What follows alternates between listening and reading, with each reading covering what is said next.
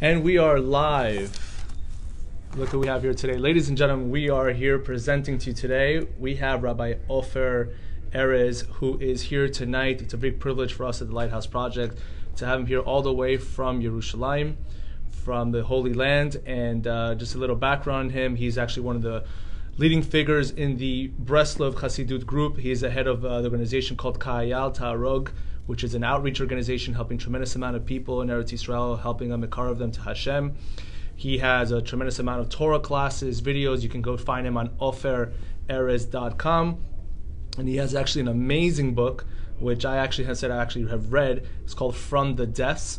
Uh, it's an incredible book. You can also find that book and find that copy online as well.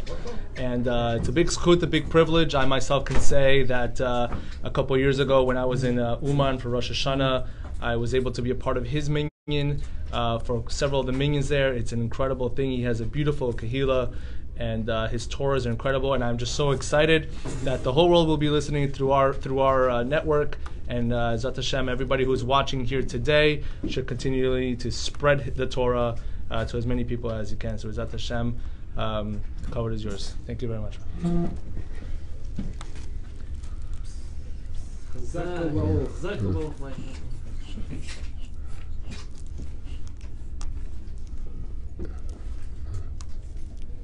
ומכיוון שאנחנו עכשיו קוראים חומש בראשית, וחומש בראשית שזה למעשה הסיפור של כל יסודות הבריאת העולם של עם ישראל, כל, כל המציאות של כל הדורות בכלליות ובפרטיות, הכל נמצא בחומש בראשית.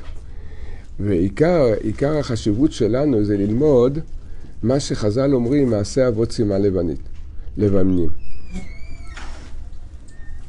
האבות, אין קוראים אבות אלא לשלושה, אברהם, יצחק ויעקב, ככה הגמרא אומרת.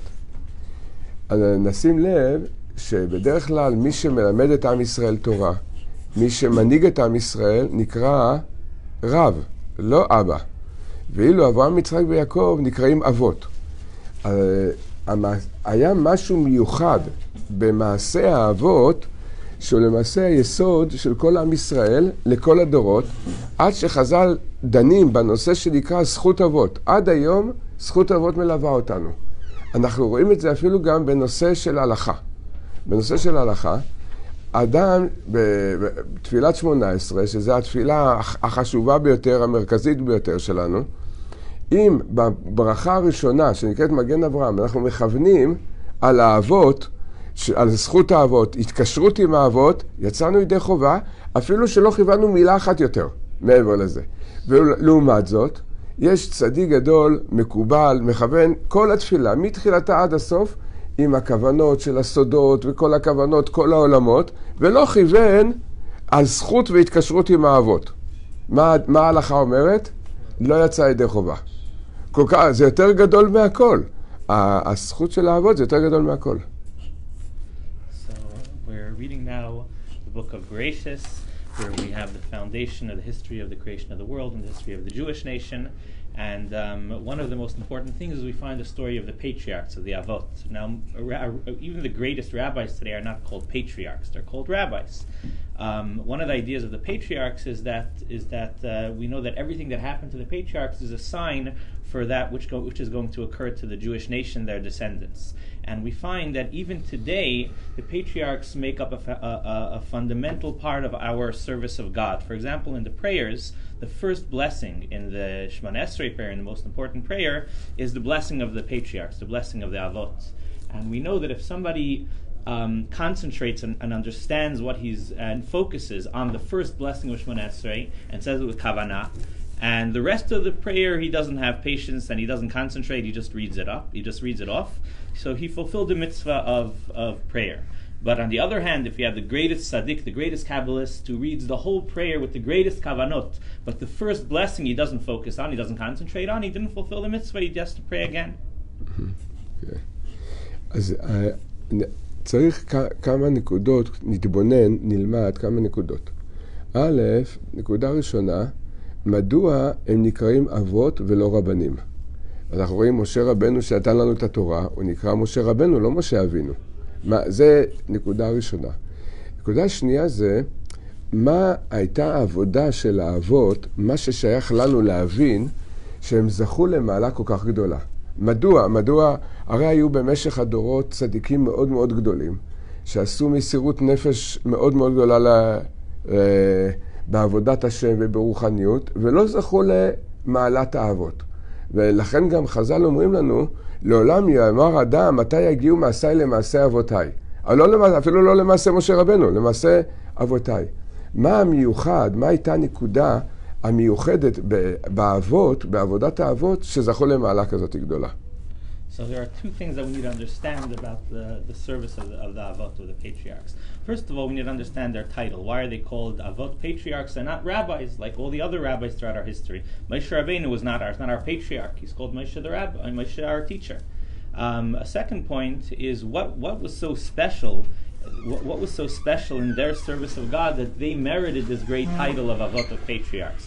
Um, throughout our history, we have many, many great, many great tzaddikim, many great rabbis who gave up their lives for Hashem with great mesirut nefesh and served Hashem, but they, but they, but they didn't reach this level. And we know that we're taught that we have to strive to, to to, to emulate the patriarchs. Every Jew is supposed to say, when will my actions reach the actions of, of, our, of, our, of the patriarchs, of the Avot? And we don't say this about Moshe Rabbeinu or about any other tzaddik. So what was so special about the service of the patriarchs? אנחנו יודעים ששני המושגים, אבות ורבנים, רב זה מלמד אותנו תורה. זה המושג רב. אבא, על, מה, על שם מה הוא נקרא? על שם ההולדה, שיש לו בנים.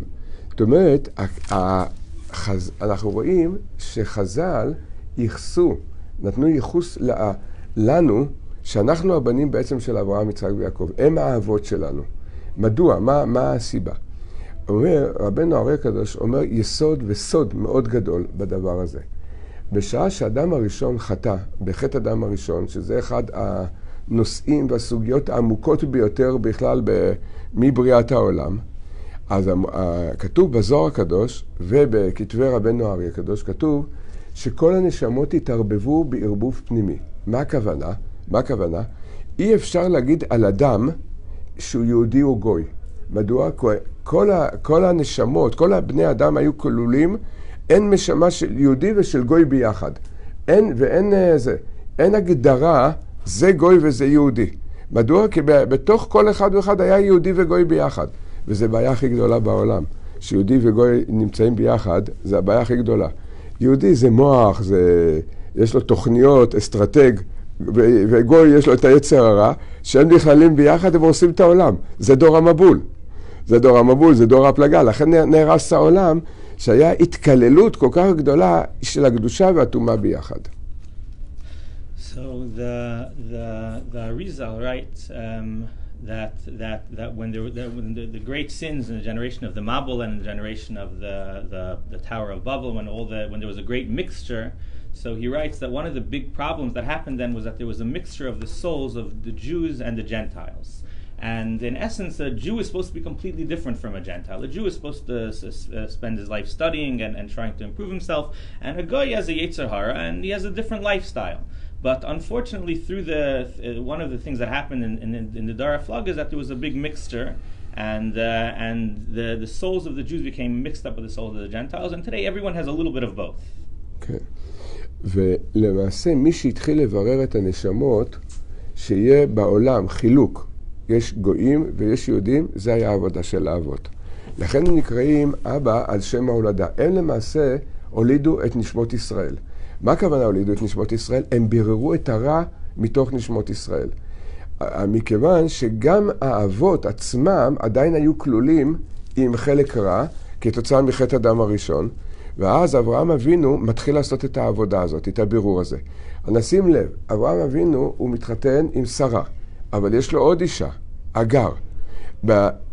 עם אגר הוא מוליד את ההולדה של להפריש ולהרחיק את הרע מנשמות ישראל. וזה ישמעאל, שהוא התחלת בירור הרע מתוך הנשמות. לכן ההולדה של יצחק אבינו, זה כבר ההולדה הראשונה שהיא בקדושה. יצחק אבינו כבר מתחיל להיות כלול, מנש... להיות כלול מנשמות ישראל. אבל אי אפשר היה לעשות את זה בפעם אחת ובהולדה אחת. היה צריך עכשיו את העבודה של יצחק אבינו בעצמו לעשות עוד בירור. ונסתכל, נתבונן בבירור של יצחק אבינו ונראה את ההבדל בין יצחק לאברהם. מכיוון שבזכות אברהם, יצחק כבר היה הרבה יותר מתוקן, היה כבר הרבה יותר מצד הקדושה. אצלו הבירור הולך אחרת. איך זה הולך? הוא קודם כל הוא נשוי רק לאישה אחת. לא כמו אברהם, שהיה צריך לברר את החלק הרע בהגר, אלא אצל, אצל יצחק זה כבר, הוא נשוי רק עם רבקה, ושימו לב, זה גם רק הולדה אחת. הם לא הולידו יותר. בהולדה אחת התברר הטוב, הטוב מהרע. והבירור של הטוב מהרע שהיה אצל יצחק, זה כבר היה בירור הרבה הרבה יותר של דברים ש, שגם מה שיצא החוצה, הוא היה הרבה יותר קרוב לקדושה מאשר בהולדה של אברהם אבינו. לכן, יצחק עשה את החלק השני של הבירור עם רבקה, בהולדה אחת, יעקב ועשיו. So, so, so the, the first, the, the patriarchs, the were the ones who began to separate um, the, the souls of the, the, Jewish souls from the Gentile souls. And that's why they're called patriarchs, and because they, what they accomplished was different from a rabbi who, who accomplishes something by teaching. They accomplished through the, through the fact that there are patriarchs, the fact that they gave birth to us. So how do they, how do they do this? So Avram, um, he married two wives because, as we mentioned, that that uh, through the, the, the original sin there was a mixture of, of good and bad souls, and therefore Avraham had to marry two wives: Sarah, who was from the good side, and Hagar, who was from the, the, the other side. And he had two children, uh, Yitzchak and Ishmael. Um, and through the fact that he gave birth to Yitzchak, so he he he, he Yitzchak, Yitzchak was already separated from Ishmael, and um, and he, Avram accomplished the separation through the fact that he gave birth to Yitzchak separate from Ishmael. However, one uh, the work of Avram was not enough; it had to continue in the next generation in Yitzchak. However, in Yitzchak it was much more refined. Yitzchak didn't have to marry two separate wives, and he didn't have to give birth two times to, to two different children. Instead, he had one wife, and he gave and that wife gave birth one time. But within that birth, there was still a separation. There was Yaakov and Esav. But but the separation there was a, was the, the, the, the mixture there was a much more refined mixture, and therefore they were both born together from the same mother, and even that he was able to separate, and through the and Yaakov was the, was refined from Esav. כן. וכשיעקב נולד, יעקב היה לו את הכוח להוליד כל ההולדות שיהיו בקדושה. לכן אנחנו רואים שיעקב, כל מי שנולד מיעקב הוא כבר חלק מעם ישראל. לא כמו אצל אברהם ויצחק. שם כבר הייתה הולדה שלמה, אבל גם ליעקב כמובן הייתה עבודה מאוד מאוד גדולה. הוא היה צריך ללכת למקום הכי טמא בעולם אז, הבית של לבן, שזה היה מרכז הטומאה העולמית, וברוך השם אנחנו לא מתארים לעצמנו עד כמה היה שם המקום אה, טמא אצל, אה, אצל לבן, ואנחנו רואים, וזה חלק מבירור הנשמות, שהאימהות שמולידות את עם ישראל, מאיזה בית הן יוצאות, מי זה אבא שלהם. הרבה פעמים אמרנו שראובן, שמעון, לוי, מהבנים של יעקב, כשהם פגשו את לבן הארמי, שחז"ל אומרים שזה אחד משורשי הטומאה הכי גדולים בכל הדורות, כשהם פגשו אותו, איך הם פנו אליו? מה הם אמרו? שיהודה ראה את לבן. הם עשרים, עשרים שנה יעקב היה אצל לבן. עכשיו, בין היתר, שם נולדו כל הבנים חוץ מבנימין, הם הכירו את לבן, הם פגשו את לבן, מה איך הם קראו לו? מה הם אמרו לו? סבא. זאת אומרת, ללבן הארמי, בעצם השבטים קראו לו סבא. זה חלק מהבירור שהיה להוציא, אברהם, יצחק ויעקב זה צד הגבר, הבירור של הבנים ושל הגברים, ואילו אנחנו רואים שבירור הנשים זה בירור אחר. זה מהמשפחה של בתואל ושל לבן. זה, זה המשפחה של נחור, זה היה אח של... אברהם אבינו, ממנו יוצאים בעצם כל צד אנשים. כל צד אנשים, ו... ואז בכוח המסירות נפש שלהם, של האבות ושל האימהות, הם זכו לעשות עבודה כזאת של להוליד רק את הנשמות הקדושות. אם נתבונן, טוב, נשים לב, זה בירור רוחני מאוד מאוד גבוה להוליד רק את הנשמות הקדושות. זאת אומרת, בתוך ההולדה צריך לעשות את ההפרשה הזאת. את הבירור הזה ואת ההבדלה הזאת. Yaakov was already in the gener- in the third generation of Yaakov. The the separation was much more refined, and therefore all of Yaakov's children were were all good and they were all part of, of Am Yisrael. Um, however, Yaakov still had to had to go through this work of refining and separating the good from the evil, which is why he had to travel to Haran, one of the worst places in the world. We can't even imagine how terrible it was there. Um, and over there, he had to marry the two, uh, you know, the, the, the, the, daughters of Lavan, daughters of Lavan Arami and um, and that's the way he, he was able to refine and separate the good from the evil through the fact that he took the, the, the, the daughters of Lavan and he married them and and and and and they're able to give birth to the to Am Yisrael to the Jewish nation. And, uh, and and and, the, and there's a difference between and in Avram and Yitzchak there was a sep- there was a refinement of the male side, and Yaakov there was a refinement of the female side, which which the women all came from from from uh, from Besuel, from Avram's family, and um, and the children that came from them, the refinement was so great that the, the what Yaakov and, and and his wives were able to accomplish was so great that they were able to make that all of their children, all of their progeny, were all good and were all holy and were all part of Am Yisrael. כדי לעשות את העבודה הזאת, לברר את הנשמות בדרך ההולדה, היה צריך להיות איזו בחינה שמאוד מאוד לשם שמיים אצל האבות. הם זכו שמעשיהם יהיו מכוונים לשם שמיים בשלמות שאין יותר גדולה ממנה בעבודתם. השאלה היא, מה עשו האבות? הרמח"ל אומר שעלינו לחקור מה עשו אבותינו שזכו למעלה כל כך גדולה, כדי שגם אנחנו נוכל ללמוד את ה... מה ששייך לנו, נלמד מהם. המציאות של העולם, שאדם לא יכול לכוון בשלמות לשם שמיים. הגמרא, המדרש, מדרש רבה אומר, אפילו חסיד שבחסידים מכוון להנאתו. יש מצבים מסוימים שהאדם לא יכול לכוון לשם שמיים בשלמות. זה חסיד שבחסידים, כתוב מי זה חסיד שבחסידים? ישי, אביו של דוד המלך, כשהוא, כשהוא שייך לאיזשהו עניין גשמי של העולם הזה, גם הוא לא, עושה, לא יכול לעשות את זה בש, בשלמות. וכתוב שישי מת בעטיו של נחש, לא היה לו שום עבירה כל ימי חייו לישי, אפילו הוא. אז מה, מה, מה הייתה הפעולה והעבודה של האבות הקדושים, שהם כן זכו לעשות את כל מעשיהם בשלמות שאין אחריה יותר, השלמות הגדולה ביותר. the way that the, that the Avot were able to accomplish what they accomplished was through the fact that everything they did was L'Shem Shamayim for the sake of heaven. And the Ramchal says that we have to look at their service of God and try to understand how, how were they able to accomplish such a thing. As the Medrash Rabbah writes, that even the Chassid of the Chassidim, the greatest Chassid, was not able to do everything L'Shem Shemaim. He also had a little bit of his own enjoyment mixed in in, in his in his uh, in, in, in, what he did. And who is this great Chassid that the Medrash speaks about? It's the, Yishai, the father of David Amelech about whom we, we're told that he didn't, he never sinned. The reason why he died was because of the sin of, of, of the Eitzadas, because of the original sin. Um, and, and, and even though he didn't sin, but, not, but he wasn't able to reach the level of the Avot that everything they did was Hashem Shemayim, he had a little bit of his own benefit mixed in. So how did the patriarchs accomplish this? פה, פה באמת צריך להתבונן להיכנס קצת לעומק הדבר, מה, מה המיוחד בעבודת האבות שזכו לכזאת שלמות. אנחנו רואים, יש, כתוב בפרקי אבות, בפרק ה' בפרקי אבות, עשרה ניסיונות התנסה אברהם אבינו. שואלים, מה הם העשרה ניסיונות? יש עוד פרקי אבות שנקרא פרקי אבות דרבי נתן, ושם יש מחלוקת. בפרקי אבות דרבי נתן יש מחלוקת מה הניסיון הראשון של אברהם אבינו?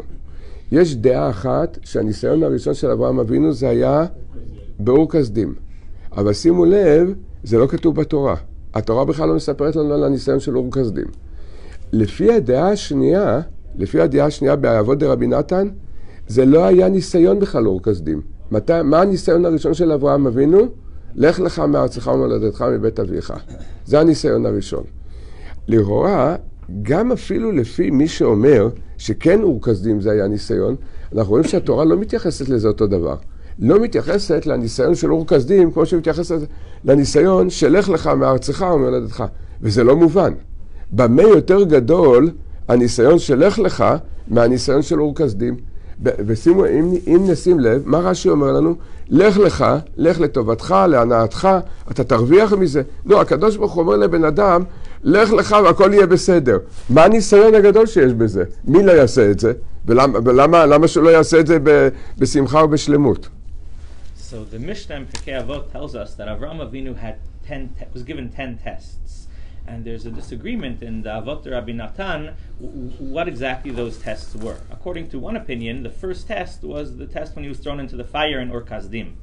According to another opinion, um, that was not the first test because that's not written in the Torah. And the, the ten tests are all things that are written in the Torah, and therefore the first test is when God told Avram, Lech lecha, to leave your, your, your land and your father's house and to travel to the land of Israel. Um, and even according to the first opinion, that, that, that includes the, the, the, store, the being thrown into the fire as a test, nevertheless, there's obviously a difference between that test and the later test because the first test is not written in the Torah. Um, but the test of Lech Lecha, of, leaving his, his land and his family, was written into the Torah. So it must be a much greater accomplishment. And at first glance, it would seem that it's a much smaller test. Uh, it seems like a very easy thing to, to leave your, your, your to leave your land and travel somewhere, especially since God told him that it's going to be for your own benefit and you're going to get great blessings from it. And that's uh, surely something that anybody would do. If we were told that we just travel to a different country and get great blessings, it seems like a very easy thing. How can that be considered a greater test than Avram willingly allowing himself to be thrown into the fire for the sake of God? כן, וגם אנחנו רואים עוד בחינה בזה בניסיון של העקדה. אברהם אבינו לקח את יצחק לעקדה. ובכל הספרים, בכל המפרשים, כולל חז"ל, ניסיון של מי זה היה ניסיון העקדה? מה? ניסיון של אברהם. בכל הספרים כתוב שזה ניסיון של אברהם. מתעוררת השאלה, למה זה לא ניסיון גם של יצחק? יצחק הסכים לעקד על גבי המזבח. והוא הולך למות, ואף אחד לא מציין, ולא מציינים שליצחק היה פה ניסיון. זה לכל יותר משבחים אותו שהוא הסכים עם ה... הוא כיבד את אביו, שהוא לא עשה שום התנגדות. אבל הניסיון נחשב, זה ניסיון של אברהם אבינו, זה הניסיון העשירי של אברהם אבינו. למה, למה לא מחשיבים גם את יצחק בניסיון הזה? מכל זה אנחנו רואים דבר, יסוד מאוד גדול. בשביל האבות הקדושים, של האבות הקדושים, למות ולמסור את חייהם על עבודת השם, זה לא ניסיון בכלל. זה המציאות הטבעית שלהם. אברהם אבינו יודע שהקדוש ברוך הוא רוצה שהוא ימסור את חייו, הוא, הוא קופץ בשמחה לתוך האש. כמו ששמעתי לאחרונה, שהרב אמר, הרב צליטה אמר, שאברהם אבינו לא התפלל שהוא ינצל מאור כשדים. הוא התפלל ש- שהוא יזכה להישרף אה, הכי טוב בעולם. מדוע? כדי, כמסירות נפש לכבוד השם אצל האבות, זה לא היה בגדר ניסיון בכלל. הם כל כך היו דבוקים בקדוש ברוך הוא, כל כך רצו את הקדוש ברוך הוא, שב... אדרבה, זה בש- בשמחה הכי גדולה. אז הניסיון של, מכאן לומדים שהניסיון של האבות זה בכלל עניין אחר לגמרי. זה משהו אחר לגמרי. מה שהם צריכים לעשות בפועל, הם יעשו את זה בשלמות הכי גדולה. לכן זה לא ניסיון. האור, לכן, לכן אור כשדים לא נחשב ניסיון אצל אברהם אבינו. ואפילו מי שמחשיב את זה, הוא אומר זה כהכנה בעצם לניסיונות. זה לא, לכן התורה לא כותבת לנו את זה. We also need to understand regarding the tenth test, the, the sacrificing of his son Yitzchak. Why is it considered a test only for Avraham and not for his son Yitzchak? Yitzchak also willingly gave up his life, was willing to give up his life for Hashem. So why is it considered Avraham's test, and we don't find anywhere any any discussion about Yitzchak being tested? So from all this, it's obvious that for our patriarchs, for the Avot, giving up their lives for God was not considered a test. Uh, when, if Hashem told them to give up their lives, they did it so happily. It was so easy for them. It was not difficult for them at all. It was their natural state of being. It was not a challenge, and it was not a test for them. Um, and therefore, it was on, and, and, and, and therefore the whole concept of a test is something which is a challenge and goes against your nature. And for them, giving up their lives for God was not a test. So, what is a test for the patriarchs? It has to be something on a completely different level. Someone who's who, who everything they do, they do is for God, but a test is something which is an even higher level. כן, זה עניין אחר לגמרי. נ- נתבונן עכשיו קצת בניס... ב... בעבודה של האבות, מה היא הייתה עבודה. הקדוש ברוך הוא אומר לאברהם אבינו, לך לך מארצך, מולדך מבית אביך, והוא מסיים את זה אל הארץ אשר אראך. מה הכוונה אל הארץ אשר אראך? רש"י אומר, לא גילה לו לאן הוא הולך. הקדוש ברוך הוא לא אמר לאברהם אבינו לאן הוא צריך ללכת. אלא הוא אמר לו, לך. טוב, לאן אני אלך? אתה תצא לדרך, אני כבר אראה לך לאן להגיע. ו- ורש"י כותב, למה? כדי להגדיל את שכרו של אברהם אבינו לא מגלה לו את הארץ. הלך, עשה את, עמד בניסיון הזה, הגיע לארץ. כשהגיע לארץ, מה קרה כשהוא הגיע לארץ? מה? וילך הלוך ונסוע נגבה. מה כתוב מיד אחרי זה?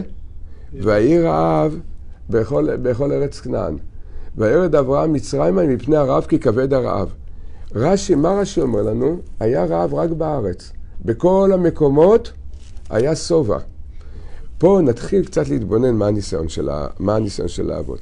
הקדוש ברוך הוא אומר לאברהם אבינו, לך לך, יהיה לך, אני מודיע לך, יצמח לך טובה גדולה מאוד מזה שאתה תלך. אבל שימו לב, ברגע שהוא מתחיל ללכת, מה קורה? כל המוחין מסתלקים. הוא פתאום נכנס לחושך, הוא לא יודע. הוא לא יודע מה ילד יום. זאת אומרת, אצל אברהם אבינו העניין של ההליכה היה כל כך מורכב, שכל בוקר שהוא היה קם, הוא היה צריך להתפלל בשחרית, השם, תראה לי לאיזה כיוון אני צריך ללכת היום. הוא לא יודע כלום. לאן הוא יגיע? מאיפה, מי, מאיפה יהיה לו הפרנסה? מאיפה... מבחינה רוחנית. עכשיו הוא היה אדמו"ר גדול, בחרן אברהם אבינו היו אלפים של תלמידים, זה היה רבה גדול. מה הקדוש ברוך הוא אומר לו? עזוב את הכל, לך, אתה לא יודע לאן אתה הולך, אתה לא יודע עם מי אתה תיפגש, אתה לא יודע מי יהיה לך תלמידים, לא יהיה לך תלמידים, אולי אני רוצה עכשיו שאתה תהיה הכי לבד בעולם. מה עם, מה עם פרנסה? אין שום הבטחה, אין כלום. מה הקושי פה? אתם יודעים מה הקושי פה? אי ידיעה. אי ידיעה, ומה זה גורם לאדם? מה יהיה? מה, מה, מה, מה, דאגה. אתם יודעים מה הניסיון של אברהם אבינו? אתם יודעים מה הניסיון? שכל ההליכה הזאת, מחרן עד ארץ- כנען, אין לו אפילו כחוט השערה, אפילו חלקיק שנייה של איזה דאגה מה יהיה. זה, זה העבודה של אברהם אבינו. אם כחוט השערה של דאגה, מה יהיה, זה כבר פגם אצל אברהם אבינו. ש- שהתורה אומרת שאברהם אבינו עמד בניסיון של לך לך, אתם יודעים מה הכוונה? לקח אולי שבועיים, שלושה, חודש, אנחנו לא יודעים כמה זמן בדיוק הוא הלך, אבל זה לקח כמה שבועות. כל השבועות האלה, בכל יום והיום יש 24 שעות, ובשבוע יש שבעה ימים. אם אברהם אבינו היה דואג, רק דאגה אחת, מה יהיה איתי, זה כבר הוא לא נקרא שהוא עומד בניסיון. זה עומק הניסיון של אברהם אבינו. לא לדאוג כחוט השערה. רגע, אבל למה לא לדאוג? נשאל, נשאל שאלה, למה לא לדאוג? אברהם אבינו, באיזה גיל הקדוש ברוך הוא אמר לו, הולך לך? 75. הוא היה בן 75. אברהם אבינו צריך לדעת, עד עכשיו איך הייתי? מי, מי החיה אותי עד עכשיו? מי נתן לי את הפרנסה? מי נתן לי את האמונה? מי נתן לי את הביטחון? מי נתן לי את התלמידים? מי נתן לי את שרה? עד עכשיו, עד הרגע הזה, מי נתן לי? ולמה שזה יפסיק? אם האדם חי בכזה שלמות של אמונה, שעד השנייה הזאת הקדוש ברוך הוא קיים אותי כל שנייה ושנייה, מה יש לי לדאוג פסיעה אחת קדימה? מה ההבדל בין מה שהיה עד עכשיו ממה שיהיה לעתיד? לכן הניסיון הראשון של אברהם אבינו זה היה הניסיון של הביטחון, לא לדאוג אפילו לא כחוט השערה. וזה, אם נשים לב, הרבה יותר קל לקפוץ לתוך האש מאשר ללכת שבועיים שלושה ושלא יהיה מחשבה הכי קטנה מה הולך להיות. זה איך שאתה יודע שהוא עשה הכל לשם שמיים. תכף, רק נגיע לזה. תכף נגיע לזה. תכף נגיע לזה. We examine the first test of Avram Avinu, where he was told to leave his, his land and his family and travel, he was not told where to travel. He was told, travel to the land I will show you, Eretz Ashareka. But he wasn't told where to go, and only once he began traveling, he was directed by Hashem. Finally, he came to the land of Israel, and he comes there and he doesn't know what to do. He's traveling around, and there's a big hunger, and he has to leave. He has to go and find food. So the challenge for Avram was was was not just that he had that he it, it was not just that he had to leave his house, is that he didn't know where he's going, didn't know what's going to happen with him. Every morning he would get up and he would he wouldn't wasn't sure where he's going to go today. He would ask Hashem, you know, show me where I should travel today. Finally, he reaches the land and he doesn't know where, where's he going to get food from, what's he going to do over here. Um, so, so, so the challenge wasn't the challenge was more that he had that, that, that, that he that he wasn't sure. He didn't know. He didn't have a direction. He didn't have clear direction. He didn't know where what's going to happen next. And what's the challenge over here? The, the, the what's the test? The test was to see whether throughout the, the weeks that it took him, uh, however many weeks it took him in, in his journey, um, during the, the 24 hours of every day, the seven days of every week, the few weeks that it took, not even once did Avram worry and say, What's going to be? What's going to happen? Um, he, he trusted in Hashem completely. He knew that if Hashem, that Hashem is directing him, and he does, and he has nothing to worry, even though he doesn't know where he's going, he doesn't know what's going to be with him, but he did, does not need to worry at all. He could completely trust in Hashem. How was he able to reach this level of trust in Hashem? Because Avram was already 75 years old when he was given this test, and he thought to himself, for the last 75 years, it wasn't me who was uh, accomplishing everything. Hashem gave me everything. Everything I needed, Hashem gave me. He gave me the food I needed. He gave me all the students that were that are here. He gave, he gave me my, my, my loving wife. Everything I needed, Hashem gave me. So Hashem's going to continue giving me all of that. And this this was the test. The test for Avraham Avinu was was not that it was was was was not the action. It was it was the it was the trust. It was the lack of worry and the complete and utter trust in Hashem, the bitachon. אנחנו רואים, אה, כתוב שבשעה שנוח יצא מהתיבה, הוא הקריב עולות. כתוב, שואל הזוהר הקדוש, למה הקריב עולות? עולות, על מה, על מה מביאים קורבן עולה? על הרהור לא טוב.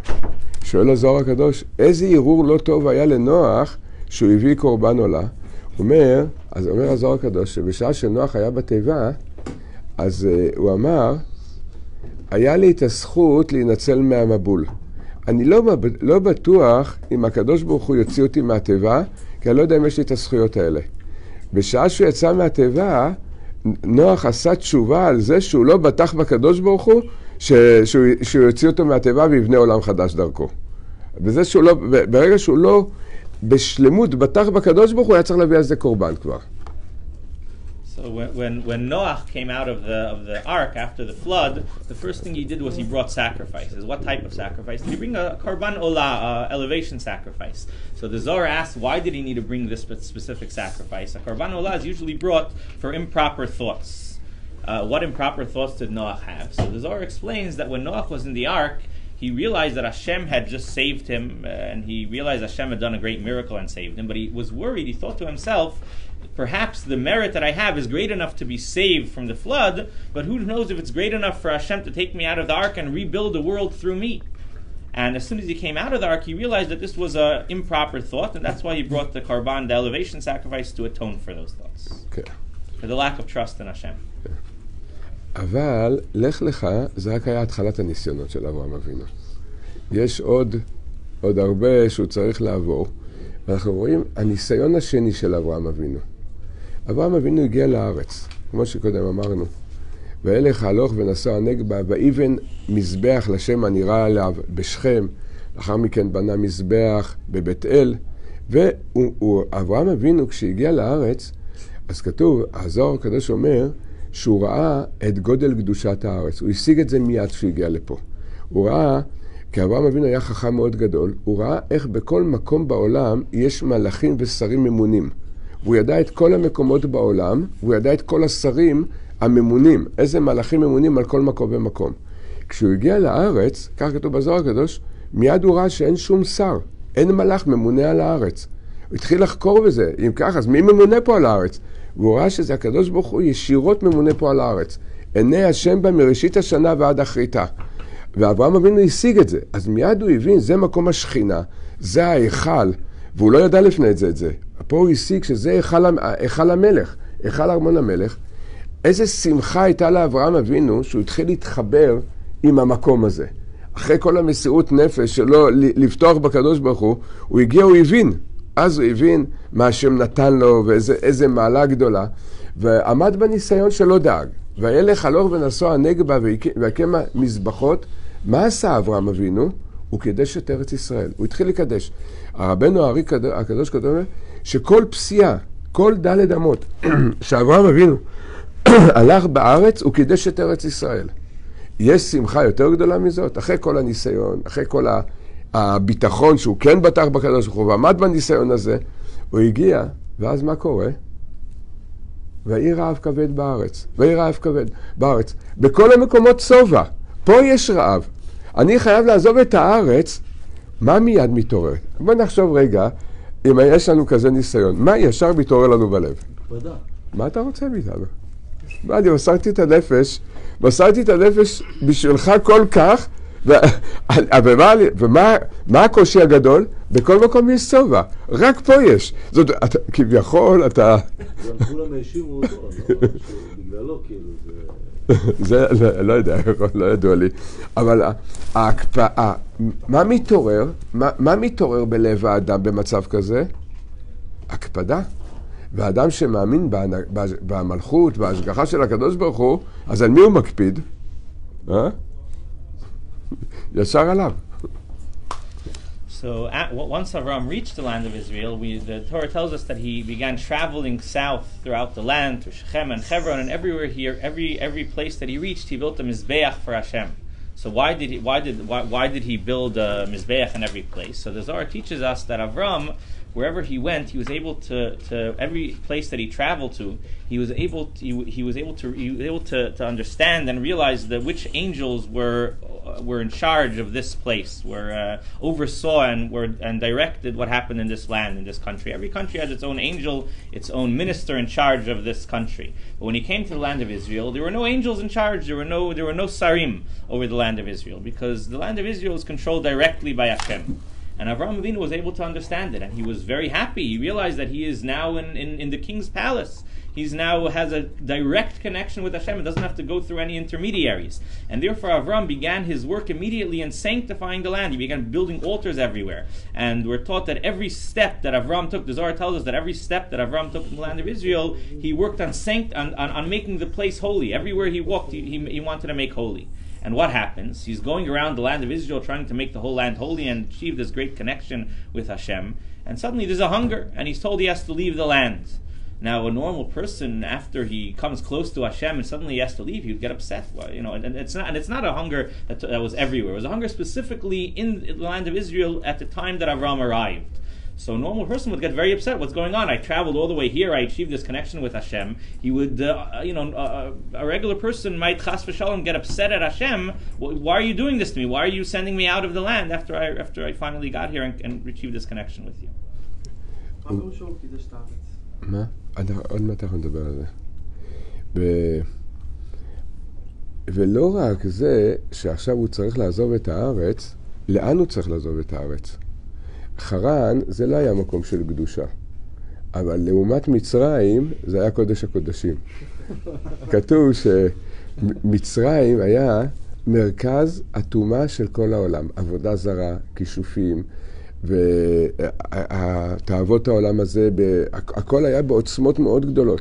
ושלא נחשוב לרגע שהמצרים הקדמונים היו אנשים פשוטים, כי הם היו אנשים שהיה להם חוכמות כל כך גדולות, גם ברוחניות וגם בגשמיות, כולל הטכנולוגיה, כולל הטכנולוגיה שלהם, שלא נפלה מכל הידיעות של הטכנולוגיה של ימינו.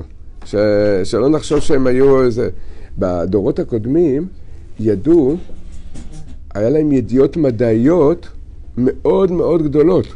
לא רק זה, הם גם אה, ידעו לעשות דברים שגם היום לא יודעים, גם המדע היום לא יודע. אם זה מגדל בבל, שלפי הדעה הפחותה ביותר, אתם יודעים מה היה הגובה של מגדל בבל? כי החוכמות של מצרים ושל בבל קשורות זו עם זאת. כמה היה מגדל בבל? לפי הדעה הכי, הכי קטנה. היה 7,000 מטר. 7,000 מטר, ש, שנדע, היום הבניין הכי גבוה בעולם בדובאי הוא 800 מטר. זאת אומרת, כמעט 12% ממגדל בבל. איך הם ידעו לבנות כזה דבר? בדרך אגב, יש, זה, זה, כתוב, זה כתוב בספרים שלנו, יש הרבה מקורות לדבר הזה.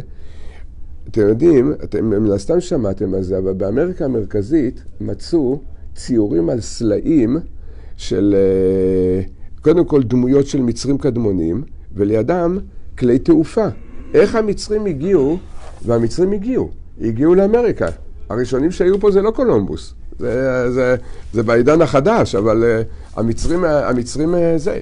יש, דרך אגב, שיש דעה שהאינדיאנים הם, הם uh, זה, הם uh, צאצאים של המצרים הקדמונים. אבל, אבל זה שיש, אני ראיתי ציורים, שציורים על סלעים, שרואים מצרים, לבוש מצרי, פנים של מצרי, עם, עם אמצעי תעופה, שהיה להם את כל זה. אבל לא נתפלא על זה, שלמעשה רש"י אומר בפרשת שמות, רש"י אומר, ויעשו חן החרטומים בלתיהם, וכמה פסוקים אחרי זה כתוב, ויעשו חן החרטומים בלהטיהם, עם ה'. בהתחלה כתוב בלתיהם בלי ה', לאחר מכן כתוב בלהטיהם עם ה'. רש"י שואל, מה ההבדל בין זה וזה? למה כאן כתוב- ה'? אומר רש"י, המילה הראשונה בלתיהם, השורש של המילה בלט, חרישי, שקט. מי, מה הכוונה? מי זה בלתיהם של החרטומים? ש"דדים. היו שולטים על הש"דדים. אומר רש"י, ובלהטיהם זה להט. השורש של המילה זה להט, אש, מה זה? מה? לא, מלאכי חבלה. אומר רש"י, זה מדרש רבה מפורש, המצרים שלטו על הש"דדים ועל מלאכי חבלה. כאלה ידיעות היו, היו להם, למצרים. אברהם אבינו צריך לרדת עכשיו אליהם, אל עומק הטומאה והקליפה, אחרי כל המסירות נפש. רגע, אני, לאן אתה שולח אותי? תשאיר אותי בחרן. מה, מה, מה זה כל הטלטולים האלה? מה, מה, מה אתה רוצה? מה אתה רוצה ממני? פה, פה צריך לדעת, יש נקודה מאוד מאוד עמוקה בדבר הזה. Weird that Avraham had to have to leave when, when, uh, when, when he left the land of Israel. Where did he have to go? He had to go to the land of, of Egypt, which, as bad as Haran was, so Egypt was much much worse. It was full of i- full, full of idolatry and full of witchcraft. And we shouldn't think for a minute that they were simple people in Egypt in those days. They were very, very advanced, both physically and spiritually and technologically. Um, they, they, they, they, it was a very, very advanced civilization. Um, as we as we see, for example, that that the the, the Tower of Babel, which uh, the Babylonian um, um, uh, knowledge was connected to the Egyptian knowledge, was a, there are different opinions exactly how tall it was, but according to the the the, the I guess the, the least the, the smallest opinion, it was se- uh, seven thousand meters. And today, the tallest building in the world is 800 meters. So what, we what, what we accomplished today is only about 12 percent of what they were able to accompli- accomplish uh, over 3,000 years ago. And um, and and and and uh, and the rabbi said that recently they discovered in, in Central America they discovered images on, on stones with with hieroglyphics with images from uh, of Egyptians from Egypt. So, I mean, it, it would seem that the Egyptians somehow made it over to America in, in, at, at that time, and and, uh, and and obviously they had to have some very advanced technology in order to be able to accomplish this. Um, and furthermore, they also had they're also very advanced spiritually, as we know that when that when uh, that when Moshe uh, brought the plagues upon Egypt, so the Egyptians used their witchcraft to to to imitate the plagues that Moshe brought. And the, the Torah says that, that, that they accomplished what Moshe did belahateim with their with their whatever magic they used. And the Torah uses the word belahateim is is is is, uh, written twice. One of them is written with a hay, and one is written without a hay. And Rashi explains that, that when it's written without a hay, it refers to their power over the demons, and when it refers to when it says with the hay, it's the power over the angels of destruction.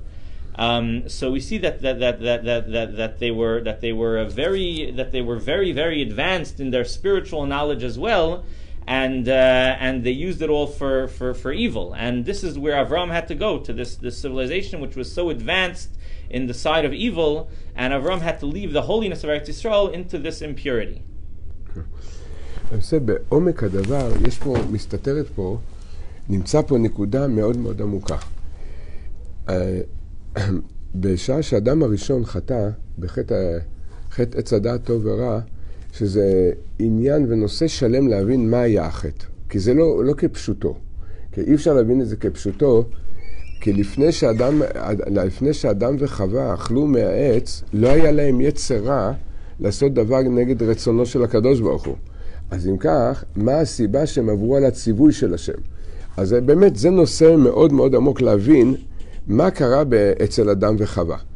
אבל מה, ש, מה שכתוצאה מהחטא נולד בין, כל הנשמות, כי כל הנשמות היו כלולות באדם הראשון. כל הגברים היו כלולים באדם הראשון, כל הנשים היו כלולות בחווה. ולכן מה שפעל וגרם החטא, זה גרם לכל הנשמות. וזה גרם כמה דברים. והנקודה העמוקה ביותר שנגרמה לנשמות זה אי, אי הסכמה, התנגדות ומרד להנהגה של הקדוש ברוך הוא. החטא גורם מרד בלב האדם. ברגע שאדם נוגע בנקודה של העבירה, בפרט אם זה דבר שקשור לתאוות העולם הזה, מיד נולד בתוך האדם התנגדות להנהגה של הקדוש ברוך הוא. יש כבר אי הסכמה, קשה לנו לקבל ולהסכים עם ההנהגה של הקדוש ברוך הוא. זה למעשה קיים בנשמות כבר מחטא אדם הראשון. בכל הנשמות זה קיים מחטא אדם הראשון. הרב דסלר כותב בספר מכתב מאליהו, שכל כעס וכל הקפדה שאנחנו מקפידים בעולם הזה, השורש הפנימי שלה, הסיבה הפנימית שלה, מה היא? על הקדוש ברוך הוא, אנחנו, לא- איתו, אנחנו, איתו אנחנו לא מסכימים. מי הראשון שאנחנו רואים שהוא כבר uh, טוען טענה כלפי הקדוש ברוך הוא? מתי? אכלת מעץ הדת טוב ורע? מה הוא אומר לו? הוא מאשים אותו. מה נתן לי? מה, בראת לי אישה כזאת? אמרתי לה, את הולכת לטייל בגן עדן, אל תדברי עם כל אחד. יש פה אה, זה, את לא יודעת מי, את, עכשיו את חדשה בבריאה, נבראת עכשיו, את כבר רוצה ללכת לטייל? אל תדברי עם כל אחד. היא חזרה, איך היא חזרה? מה היא עשתה לו כשהיא חזרה? אומר בעל הטורים, היא נתנה לו מכות. היא באה עם, בעל הטורים כותב, האישה נתנה לי מן העץ ואוכל. בעל הטורים אומר, היא לא נתנה לו מן העץ, היא נתנה לו מפרי העץ. אלא, מכאן נלמד שהיא לקחה ענף מעץ הדעת, נתנה לו מכות ואמרה לו תאכל. הוא מה, אני בשביל שלום בית אכלתי. לא רציתי שיהיה מכות. שימו לב, בגן עדן, כל זה קרה כבר בגן, כבר בגן עדן כזה. לפעמים לאנשים יש להם בעיות של שלום בית, אני מנחם אותם, אני אומר להם, מה אתם רוצים? זה כבר בגן עדן הבעיות של שלום בית. אז, אה, אז נולד, נולד מרד. מה זה המרד? קשה לנו להסכים עם מה שהקדוש ברוך הוא עושה בעולם. קשה לנו נקודה הזאת. what was a, what did the, the first sin of the tree of knowledge what did the sin accomplish so first of all it's hard to understand how how they were able to sin at that time they didn't have an evil inclination but uh, the, what the sin accomplished and what every sin accomplishes is it brought into the soul of Adam Rishon and to all of his descendants a certain rebelliousness certain opposition to Hashem and as Rav, Rav Dessler writes, that every anytime a person gets upset, gets angry at something, the source of that anger is from the sin of Adam Rishon, where he opposed Hashem, and the anger that we have is in uh, opposition to Hashem. And we find that, that, that, that the first person to oppose Hashem and to uh, you know complain against Hashem was Adam Rishon right after he ate from the tree of knowledge. Hashem asked him, "Why did you eat?"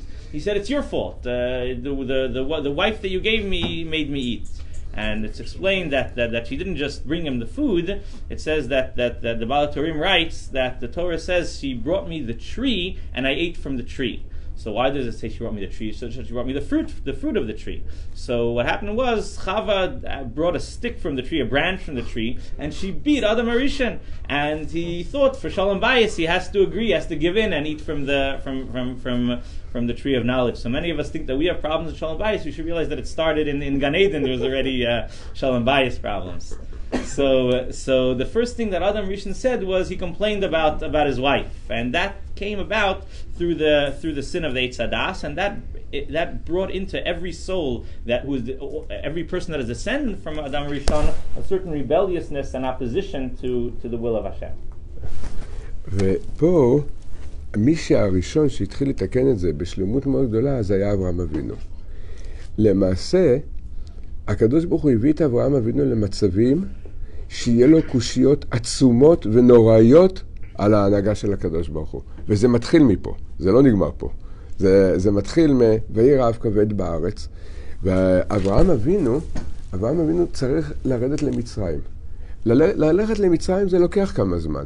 השהייה במצרים, כתוב שהם היו חצי שנה. יש אומרים ארבעה חודשים, יש אומרים חצי שנה הם היו במצרים. שימו לב, איך שהוא הגיע למצרים, מה קרה?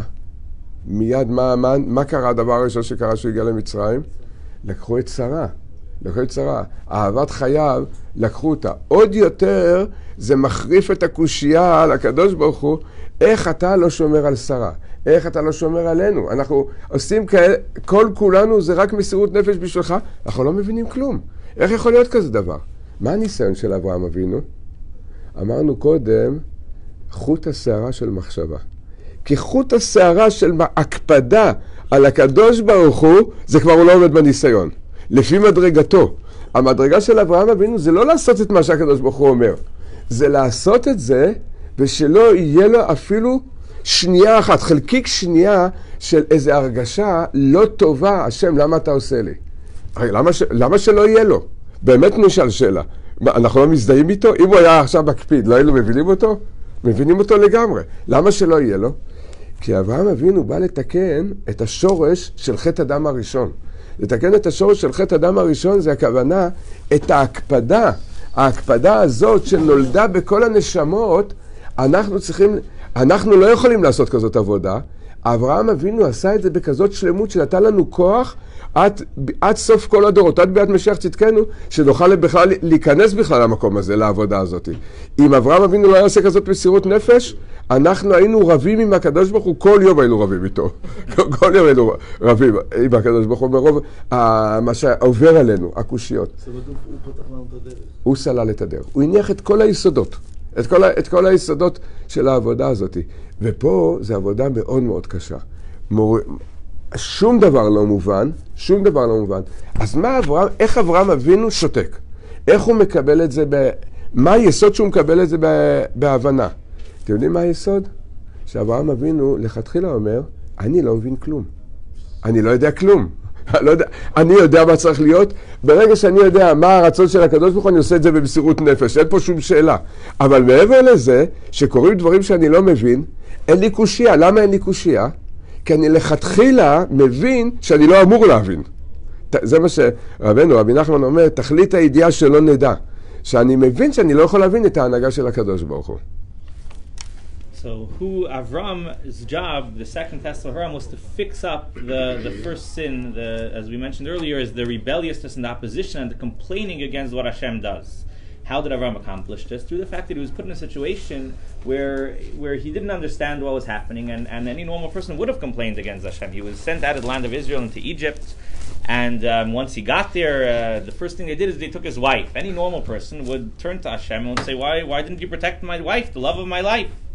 Yet Avram was quiet. Avram didn't complain against Hashem. Avram uh, fixed up this this uh, this complaint of Adam Rishon. He was he fixed it up. Uh, he was able to fix this through through a second test. And the test wasn't just that he shouldn't uh, uh, rebel against Hashem. The, the test was that throughout the entire journey, not even for one moment, for one for the smallest second, that a thought crossed his mind. Uh, why is Hashem doing this to me? Why, why you know there's something wrong? Hashem, why are you doing this to me?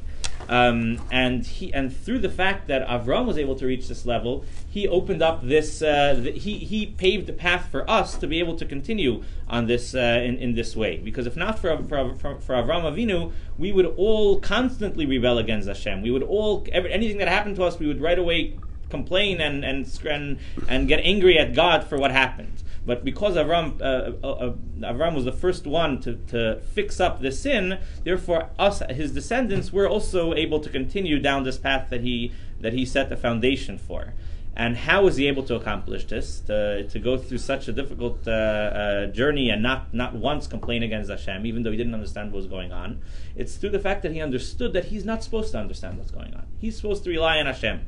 And uh, whatever Hashem tells him, he does. But more than what Hashem tells him, he doesn't know. He doesn't know what's supposed to be, so he has nothing to complain about. And once he understood that, that, that he doesn't need to understand and that he has to completely rely on Hashem, so therefore he was able to be quiet and not complain and not oppose and not rebel against Hashem. והניסיון האחרון של אברהם אבינו זה ניסיון העקדה. ושם כל מה שדיברנו מתעצם עוד הרבה הרבה הרבה יותר ממה שהיה עד עכשיו. מדוע? מה קשה יותר בניסיון העקדה ממה שהיה עד עכשיו? עד עכשיו אברהם אבינו אומר, "אז בסדר, אני לא מבין את הקדוש ברוך הוא. אברהם אבינו מבין שהוא לא מבין. הוא יודע שהוא לא, הוא לא יודע. אבל פה, הקדוש ברוך הוא אומר לאברהם אבינו ומגלה לו, אתה הראשון שמוליד את ההולדה שבקדושה בעולם. מי זה ההולדה שבקדושה? ביצחק יקרא לך זרע. יש הבטחה, הוא הבטיח לו. אחרי, אברהם, יצחק נולד, אברהם אבינו היה בן, בן כמה היה? בן מאה שנה הוא היה. שרה הייתה בת 90 ואברהם היה בן מאה. הוא הוליד אותו בניסי ניסים. ראה שהכל זה נגד כל החוקים של הבריאה. אפילו שרה כבר אה, לא, לא האמינה שאברהם יכול אה, להוליד. מרוב ה... הוא כבר לא היה בעולם הזה מרוב הקדושה שלו. הוא היה פרוש לגמרי מה, מענייני העולם הזה. כי שואלים, שואלים שאלה כזאת, ותצחק שרה, צריכה, האדוני זקן ואני ילד, אז היא אמרה שלא יכול להיות שאברהם אבינו יוליד, נכון? ככה השרה אומרת. אבל למה, למה כל כך קשה לך? מה קשה? ואחרי בלותי הייתה לי עדנה, מה כתוב? הרי עכשיו ראית שלך נעשה נס. הרי הקדוש ברוך הוא עשה לך נס וחזרו, חזרת לימי ציר- אה, עלומייך, חזרת להיות צעירה מהבחינה הזאת. עכשיו, ברגע זה קרה לך נס. אם את רואה שקרה לך נס, למה את לא מאמינה שגם לאברהם אבינו יכול לקרות נס? על עצמה היא, רואה את זה והיא לא מאמינה לאברהם אבינו. אתם יודעים למה? היא אמרה, אני יודעת מי זה אברהם. אברהם כבר לא בן אדם, הוא כבר מלאך. אני, אני מכירה אותו, הוא כבר לא בעולם הזה. אני עוד שייכת לעולם הזה, עוד יכולים לעשות לי נס להיות בעולם הזה. אבל אברהם אבינו כבר הרבה הרבה יותר גבוה, הוא לא יכול להיות, הוא כבר לא שייך לעולם הזה. ועם כל זה הקדוש ברוך הוא עשה נס. והקדוש ברוך הוא אומר לאברהם אבינו, ביצחק יקרא לך זרע. כל העבודה שלך, כל ימי חייך, מי זה? איפה, איפה העבודה באה לידי גילוי וביטוי? ביצחק, נכון? שאברהם אבינו, בגיל 137, הקדוש ברוך הוא מתגלה לו, מה אומר לו? קח את בנך, את יחידך, את יצחק, ועלהו לעולה על אחד הערים. שלושה ימים, הוא היה בבאר שבע. שלושה ימים הוא הלך מבאר שבע לירושלים, להר המוריה.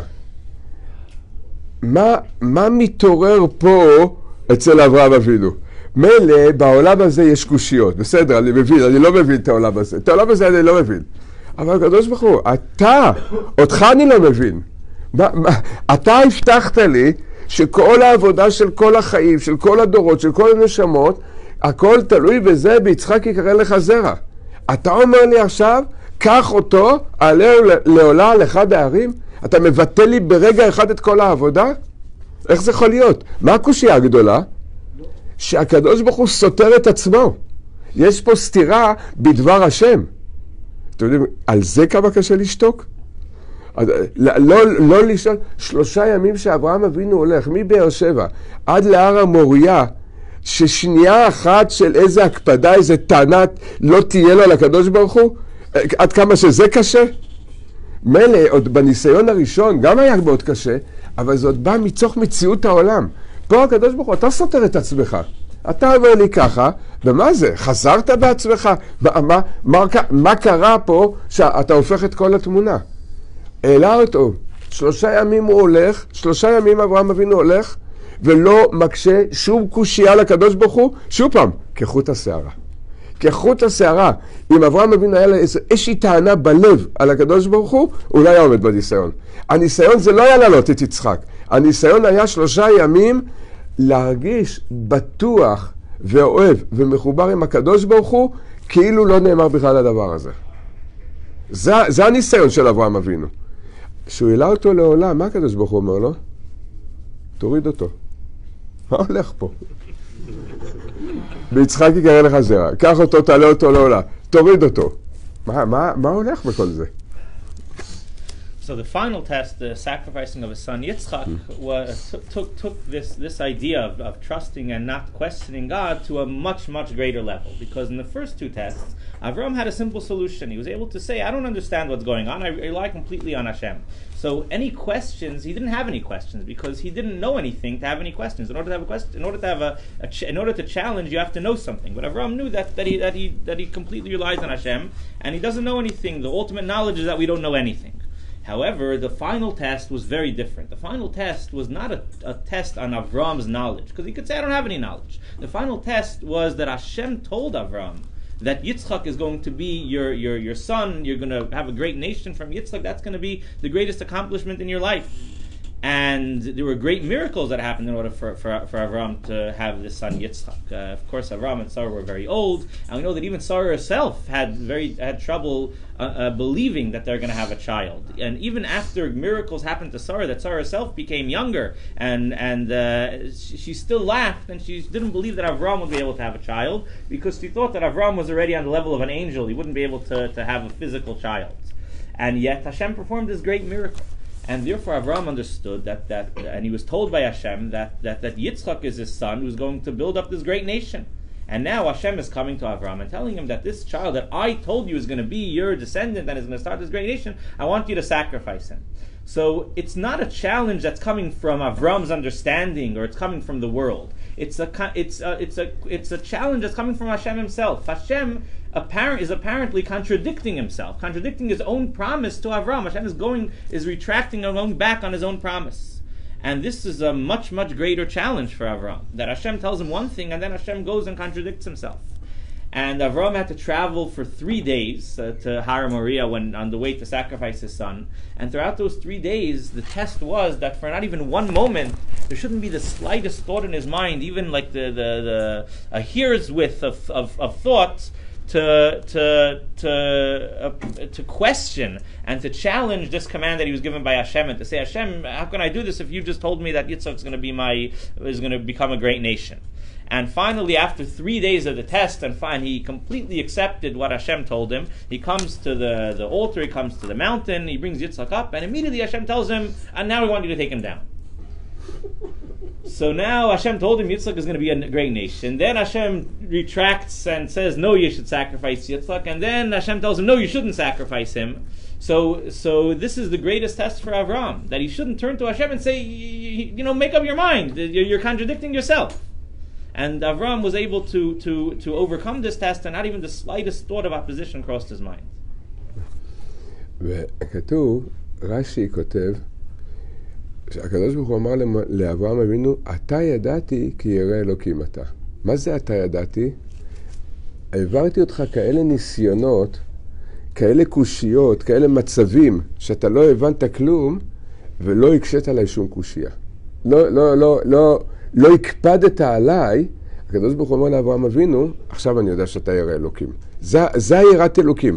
לא, לא אור כסדים, לא אור כסדים, אפילו לא ירידה למצרים, אלא כשאני מבלבל אותך בבלבולים הכי גדולים, ואתה לא מקשה עליי שום קושייה, אז עכשיו הקדוש ברוך הוא מעיד על אברהם אבינו, אתה ידעתי כי ירא אלוקים אתה. אומר רש"י, אמר אברהם אבינו לקדוש ברוך הוא, אפרס שיחתי לפניך. בהתחלה אמרת לי, ויצחק יקרא לך זרע. לאחר מכן אמרת לי, עליהו לעולה. לאחר מכן אמרת לי, תוריד אותו. מה זה? אמר לו הקדוש ברוך הוא, ככה רש"י מביא את זה. אמר הקדוש ברוך הוא לאברהם אבינו, כשאמרתי לך, עליהו לעולה, מה אמרתי לך? אני אמרתי לך לשחוט את יצחק? מה אמרתי לך? רק קח אותו ותעלה אותו לעולה. העלית אותו לעולה? קיימת את הציווי, עכשיו תוריד אותו. אני לכתחילה לא אמרתי לך לשחוט את יצחק. שימו לב, שימו לב, כל הקושייה של אברהם אבינו נובעת, ממה היא נובעת? כי מה הוא הבין?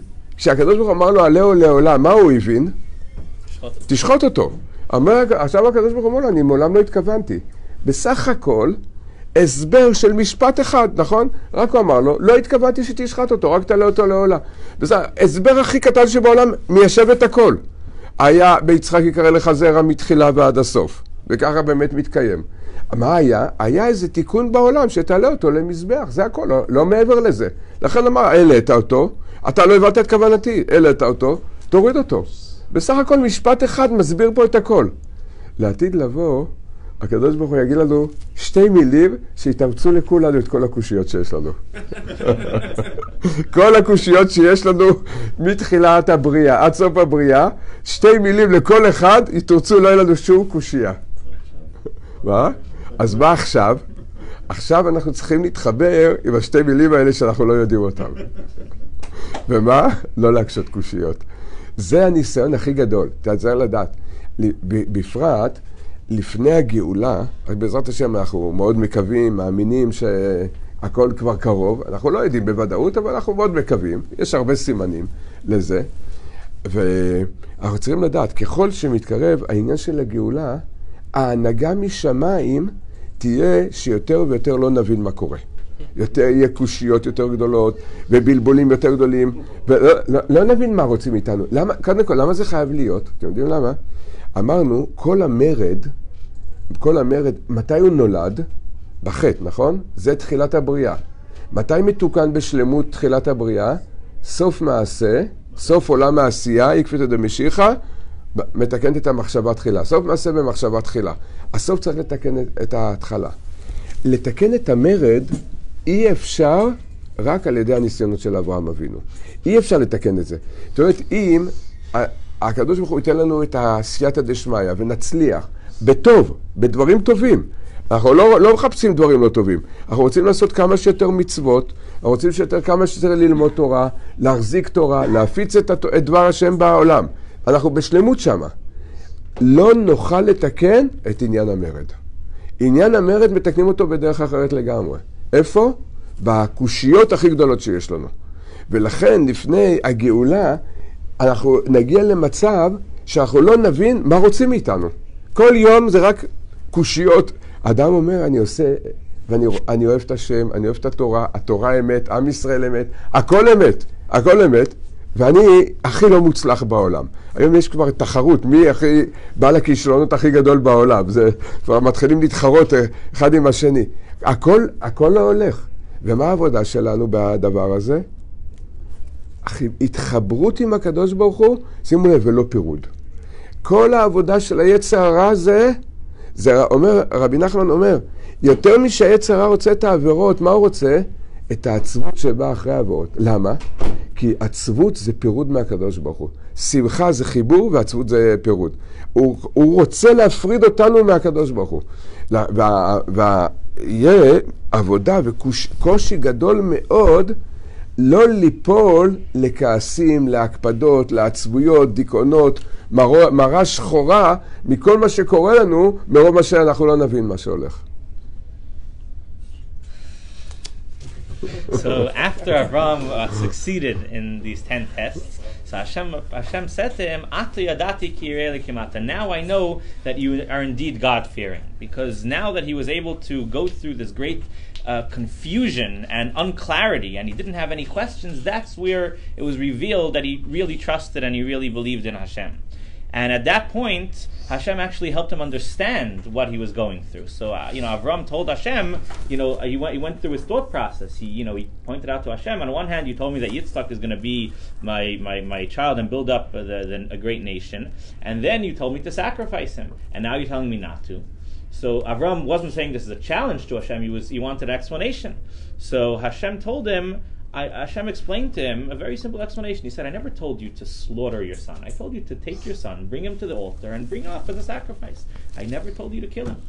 And with this simple explanation, it became clear that Hashem never contradicted himself. Hashem wanted Yitzchak to be brought up on the altar, and that's what happened. Yitzchak was brought up on the altar, and it didn't contradict anything that Hashem said before or after and um, and with these with with a small tiny little sentence with two words uh, Hashem was able to answer the greatest questions and the greatest confusion that Avram had.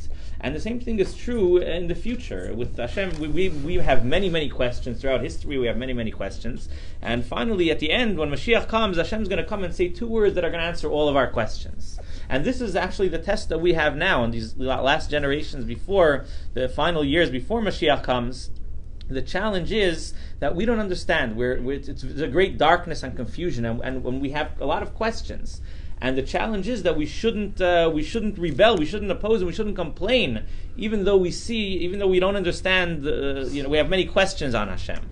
And this is the uh, the reason why we have this test now is because now is the time when we have to fix up the original sin of, of, of the tree of knowledge because we know that the the first sin is also the last sin to be fixed up as we know sof maaseh b'machshavat tchila.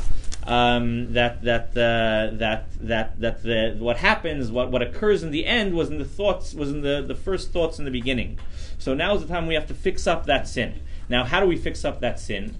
The which we, as we said that sin brought rebelliousness and opposition to Hashem and the fact that Adam complained to Hashem. So the way to fix it up is not through doing mitzvahs. If we were to spend our whole life doing great things, studying and learning and doing great mitzvahs, that wouldn't fix up this. That wouldn't uh, fix. That wouldn't be mitaken the, the the sin of Adam Rishon. How are we mitaken? Through the fact that we have uh, difficulty understanding, and we, we, there's great confusion, and we don't question, we don't challenge, and we don't question um, what what what uh, what Hashem is doing to what, you know what Hashem is doing. No question. And we don't get angry at Hashem. And that's and that's the challenge that we have today. As Reb Nachman said, that that that that, that, that when, when a person questions and gets angry and gets upset, he's separating himself from Hashem. And Reb Nachman says that the reason why the Yetzer Hara wants a person to sin, he doesn't care about the sin. The Yitzhar doesn't care if you sin. He knows that if you sin, you're going to get upset afterwards. You're going to be sad and upset afterwards. And that sadness is, is, is a disconnection, uh, disconnects you from Hashem. So that's the challenge that we have today. That we shouldn't have, ha- we shouldn't have these questions, and that even though we're, we're, we're, we're in a very difficult time, we have to realize that we don't uh, we don't we, we don't question, and maybe and very soon Hashem is going to say two three words. I'm going to remove all the questions.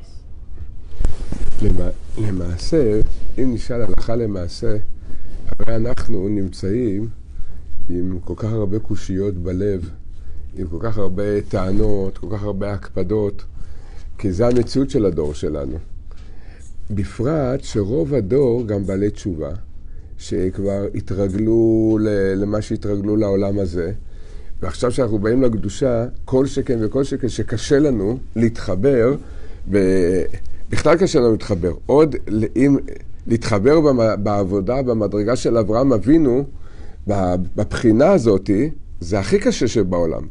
איך אנחנו יכולים בכלל, מה, מה הקדוש ברוך הוא מצפה מאיתנו? מה הקדוש ברוך הוא רוצה מאיתנו, שאם אנחנו צריכים לתקן את זה, הלוואי שנתקן דברים יותר קלים. וכזאת היא עבודה הקדוש ברוך הוא נותן לנו. אבל פה צריך לדעת כלל ויסוד מאוד גדול. אנחנו באמת לא יכולים לתקן את זה, אבל מה אנחנו כן יכולים? לרצות לתקן את זה. וזו נקודה מאוד חשובה. הדבר הראשון, הדבר הראשון זה שנדע שזה הניסיון שלנו. הרבה פעמים אדם לא יודע בכלל שמשמיים מנסים אותו בנקודות האלה, ואז הוא לא מבין. למה בפרנסה לא הולך לי? למה אשתי מתנהגת ככה? למה הילדים ככה? למה ההורים ככה?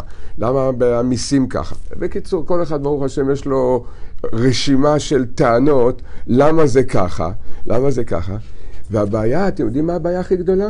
שאנחנו לא מבינים שבעצם פה הניסיון שלנו. זה, זה הבעיה הכי גדולה, שאדם לא מבין, זה, זה מה שמנסים אותך משמיים, על הנקודה הזאת. על הדבר הזה בעצמו מנסים אותך. כשאדם לא מבין, הוא מתחיל להסתובב, אתם יודעים איך? במרירות, התמרמרות. מהתמרמרות, מה השלב הבא? שנכנסים יותר לעומק הדבר, מתחילים להיות עצובים. עוד יותר זה, מי שנכנס, זוכה להיכנס עוד יותר לעומק, מתחיל להיות בדיכאון. ועוד יותר לעומק, מתייאש. בסוף הוא רק רוצה להתאבד, כבר לא רוצה את העולם הזה. עכשיו, אנשים לא נעים להם ולא להם חשק להתאבד. כדורים. מה? כדורים. אז היום... מה? התעשייה הכי גדולה. התעשייה הכי גדולה. הדור הזה, או עשבים, או כדורים, או מה? כן. למה? אתם יודעים למה? לא בגלל שכל כך רוצים סמים. רק לא רוצים לעמוד עם הכאבים הפנימיים של הנפש, לא יכולים לעמוד עם זה. ושימו לב, מאיפה זה מתעורר? כל הכאבי נפש האלה, האיסורי נפש, מאיפה זה מתחיל להתעורר? כי לא יודעים בכלל שכל הניסיון זה שאתה תהיה במציאות שאתה לא מבין כלום, ואתה תלמד זכות על הקדוש ברוך הוא ותתחבר איתו. זה, הבעיה שלא יודעים את הנקודה הזאת. כי אם היו מבינים, זה, זה עצמו הניסיון, זה כבר, זה כבר הסתכלות אחרת על, ה, על הדברים. בזה מנסים אותי. כן, נכון. למה מנסים אותי? אני יודע איפה הייתי בחטא הדם הראשון, אני יודע כמה ב... כעסתי שם, מרדתי, התחלתי ל...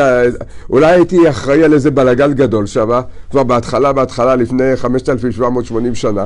לא יודע, אולי במשך הדורות. אבל זה לא משנה. הנקודה היא להבין שזה עצם הניסיון. זה, זה היסוד הראשון. הנקודה הראשונה להבין, כן, מנסים אותנו, ומדי פעם בפעם ייקחו איזה מחט וידקרו אותנו. יעקצו אותנו מדי פעם בפעם. אם, אם זה קורה היום אחת לשעה, אדם צריך להגיד תודה, כי זה, זה מצב טוב היום. מה? ויש כאלה שלא קורה להם כלום, איך זה יכול להיות? שרק הולך להם טוב טוב כל הזמן. אין להם שום תקלות. איך זה יכול להיות? אוקיי, אז אני מיד איזה, מיד, אה, מיד נתייחס לשאלה הזאת. So the, the, the, the, the question arises how can Hashem expect us to overcome this test? Especially in this generation where, we're not at as, you know, great, as great a level as the previous generations, and most of us today are, are Balei Tshuva, so it's even more difficult for us. So, how can Hashem expect us to overcome this challenge? So, the answer is that what Hashem expects us, the first thing is to actually recognize the challenge and to know what's expected of us and what we want to accomplish. And that's the, that, that, that- that's the first step in overcoming it. When a person has difficulties, when he has difficulties uh, in parnasah, in marriage, in family, in health, so so so if a person doesn't realize that this is this is my purpose and this is my challenge, so he doesn't understand why this is happening to him, and therefore he becomes bitter, he becomes sad, he becomes depressed, he gives up, he wants to, to end it all, and uh, and and the reason is because he doesn't realize that this is the challenge. So this, the, the, the first thing, with the first, the first point is we have to recognize that this is the challenge of this generation. The challenge is that we don't understand, and we, the challenge is not to ask questions and not to come upset and, and, and, and be bothered by it.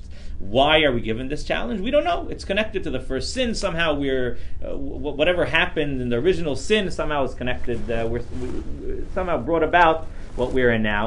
But once we recognize that this is the challenge, everything uh, becomes, you know, we, we're not, we're not going to be bothered by it as much. זה, למעשה זה, זה הנקודה הראשונה, לדעת שזה הניסיון שלנו. והדבר השני שהוא מאוד מאוד חשוב, זה להתחבר ולא להיפרד. זה אפילו שאדם, אין מציאות היום, אני לא מדבר אולי על כמה צדיקים שיש בדור, אבל רובנו ככולנו, זה אין מציאות שלא נכעס, ושלא נקפיד, ולא שלא נהיה עצובים. זה, זה נדע, מראש, נדע, שם אנחנו נמצאים. וזה עובר על כל אחד מאיתנו, ואנחנו נופלים מאוד בדעתנו. רק מה? לק... שאנחנו מבינים שזה עצמו הניסיון לקחת את זה לחיבור ולא לפירוד. מה הכוונה לחיבור ולא לפירוד? מה, מה הכוונה? תעשה מזה שיחה עם הקדוש ברוך הוא. דבר איתו. תגיד לו, הקדוש ברוך הוא, אני יודע שאתה טוב. אני יודע שכל מה שאתה עושה הכל לטובה.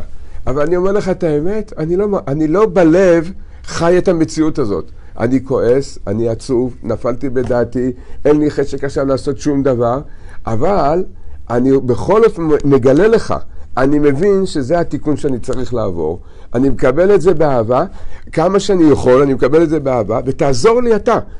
פירוש הדבר, לקחת את כל המציאות לשיחה. לדיבור עם הקדוש ברוך הוא כדי להתחבר איתו ולא ליפול ממנו. וגם כשאנחנו עושים טעויות, גם כשאנחנו מרגישים לא בסדר, גם בזה להתחבר איתו ולא להיפרד. לא לפחד. הוא, יודע, הוא מבין אותנו. הקדוש ברוך הוא מלמד עלינו זכות. יש לו עין טובה עלינו, הוא מבין אותנו, רק הוא רוצה, מה הוא רוצה מאיתנו? תהיו אמיתיים עד הסוף. לפני כמה שנים היה מקרה בקריאת ספר, יהודי שחזר בתשובה, ובעבר שלו היה מכור לסמים. אבל לא, לא גראס, היה מכור לסמים קשים. וכבר התחתן, ברוך השם הוא יצא מזה, התחתן, נולדו לו שלושה ילדים, אבל קצת, אתה יודע, ניצוצים של אה, הבזקים מן העבר. מדי פעם בפעם קרה לו מצב שהוא היה הולך והיה קונה ומשתמש. הוא בא, הוא סיפר לי את זה, הוא היה מבוהל, כי הוא יודע לאן זה יכול להגיע, להרוס את כל החיים. הוא אמר לי, תגיד, מה העצה? אמרתי לו, אל תלך לקנות. אמר לי, אין, כשזה קורה אני לא יכול, אני לא עומד, לא עומד ביצרה.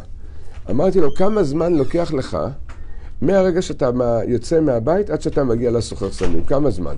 הוא עושה זמן בערך 50 דקות.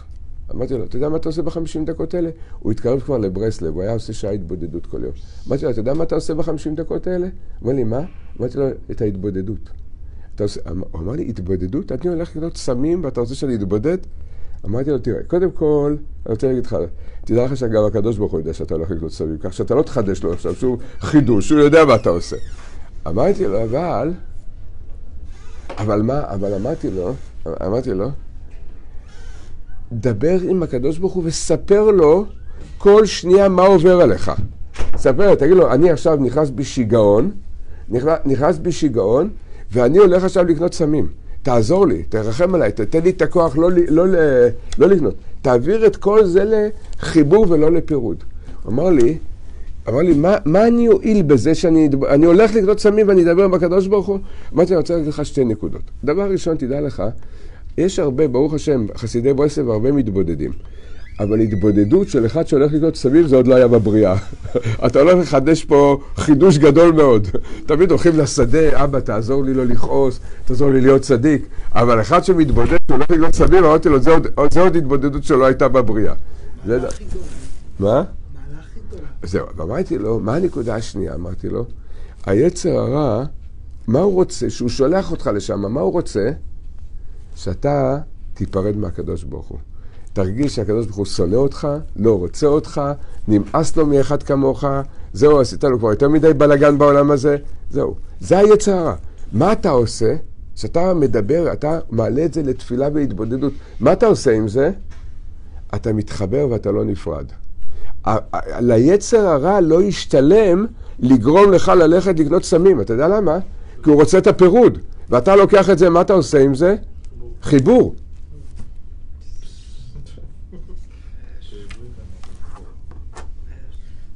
second, um, the second step in overcoming the challenge is to use the challenge itself as a way to become closer to Hashem. Whenever we have these challenges, there, there- there's you know no one, none of us are on the level that we shouldn't be bothered by all of these questions. We all have these questions and we're all bothered by it. But we can use that as an opportunity. We can use this challenge as an opportunity to connect to Hashem. Whenever we have a challenge, whenever we have a difficulty, the first thing we should do is we should turn to Hashem and say, "No, Hashem, I'm going through a difficult time. It's very hard for me. It's uh, I, I know that this is that this is the challenge, but you know I, I I'm, I'm going through this, and we can use this itself as an opportunity to come closer to Hashem. So instead of immediately feeling distant and opposition and rebelliousness to Hashem, we can actually use it to, to come to come closer to Hashem. The rabbi said a story of a of a Baal Tshuva from um, lived in Kiryat Sefer, who uh, in in his youth he was uh, addicted to drugs, and now he uh, you know he he of course left that all behind, and now he has a you know a good Jewish family. But every once in a while he can't control himself, and he suddenly gets a strong urge, and he goes to buy drugs. So he came to the rabbi, and and he said, "What should I do? I have this problem."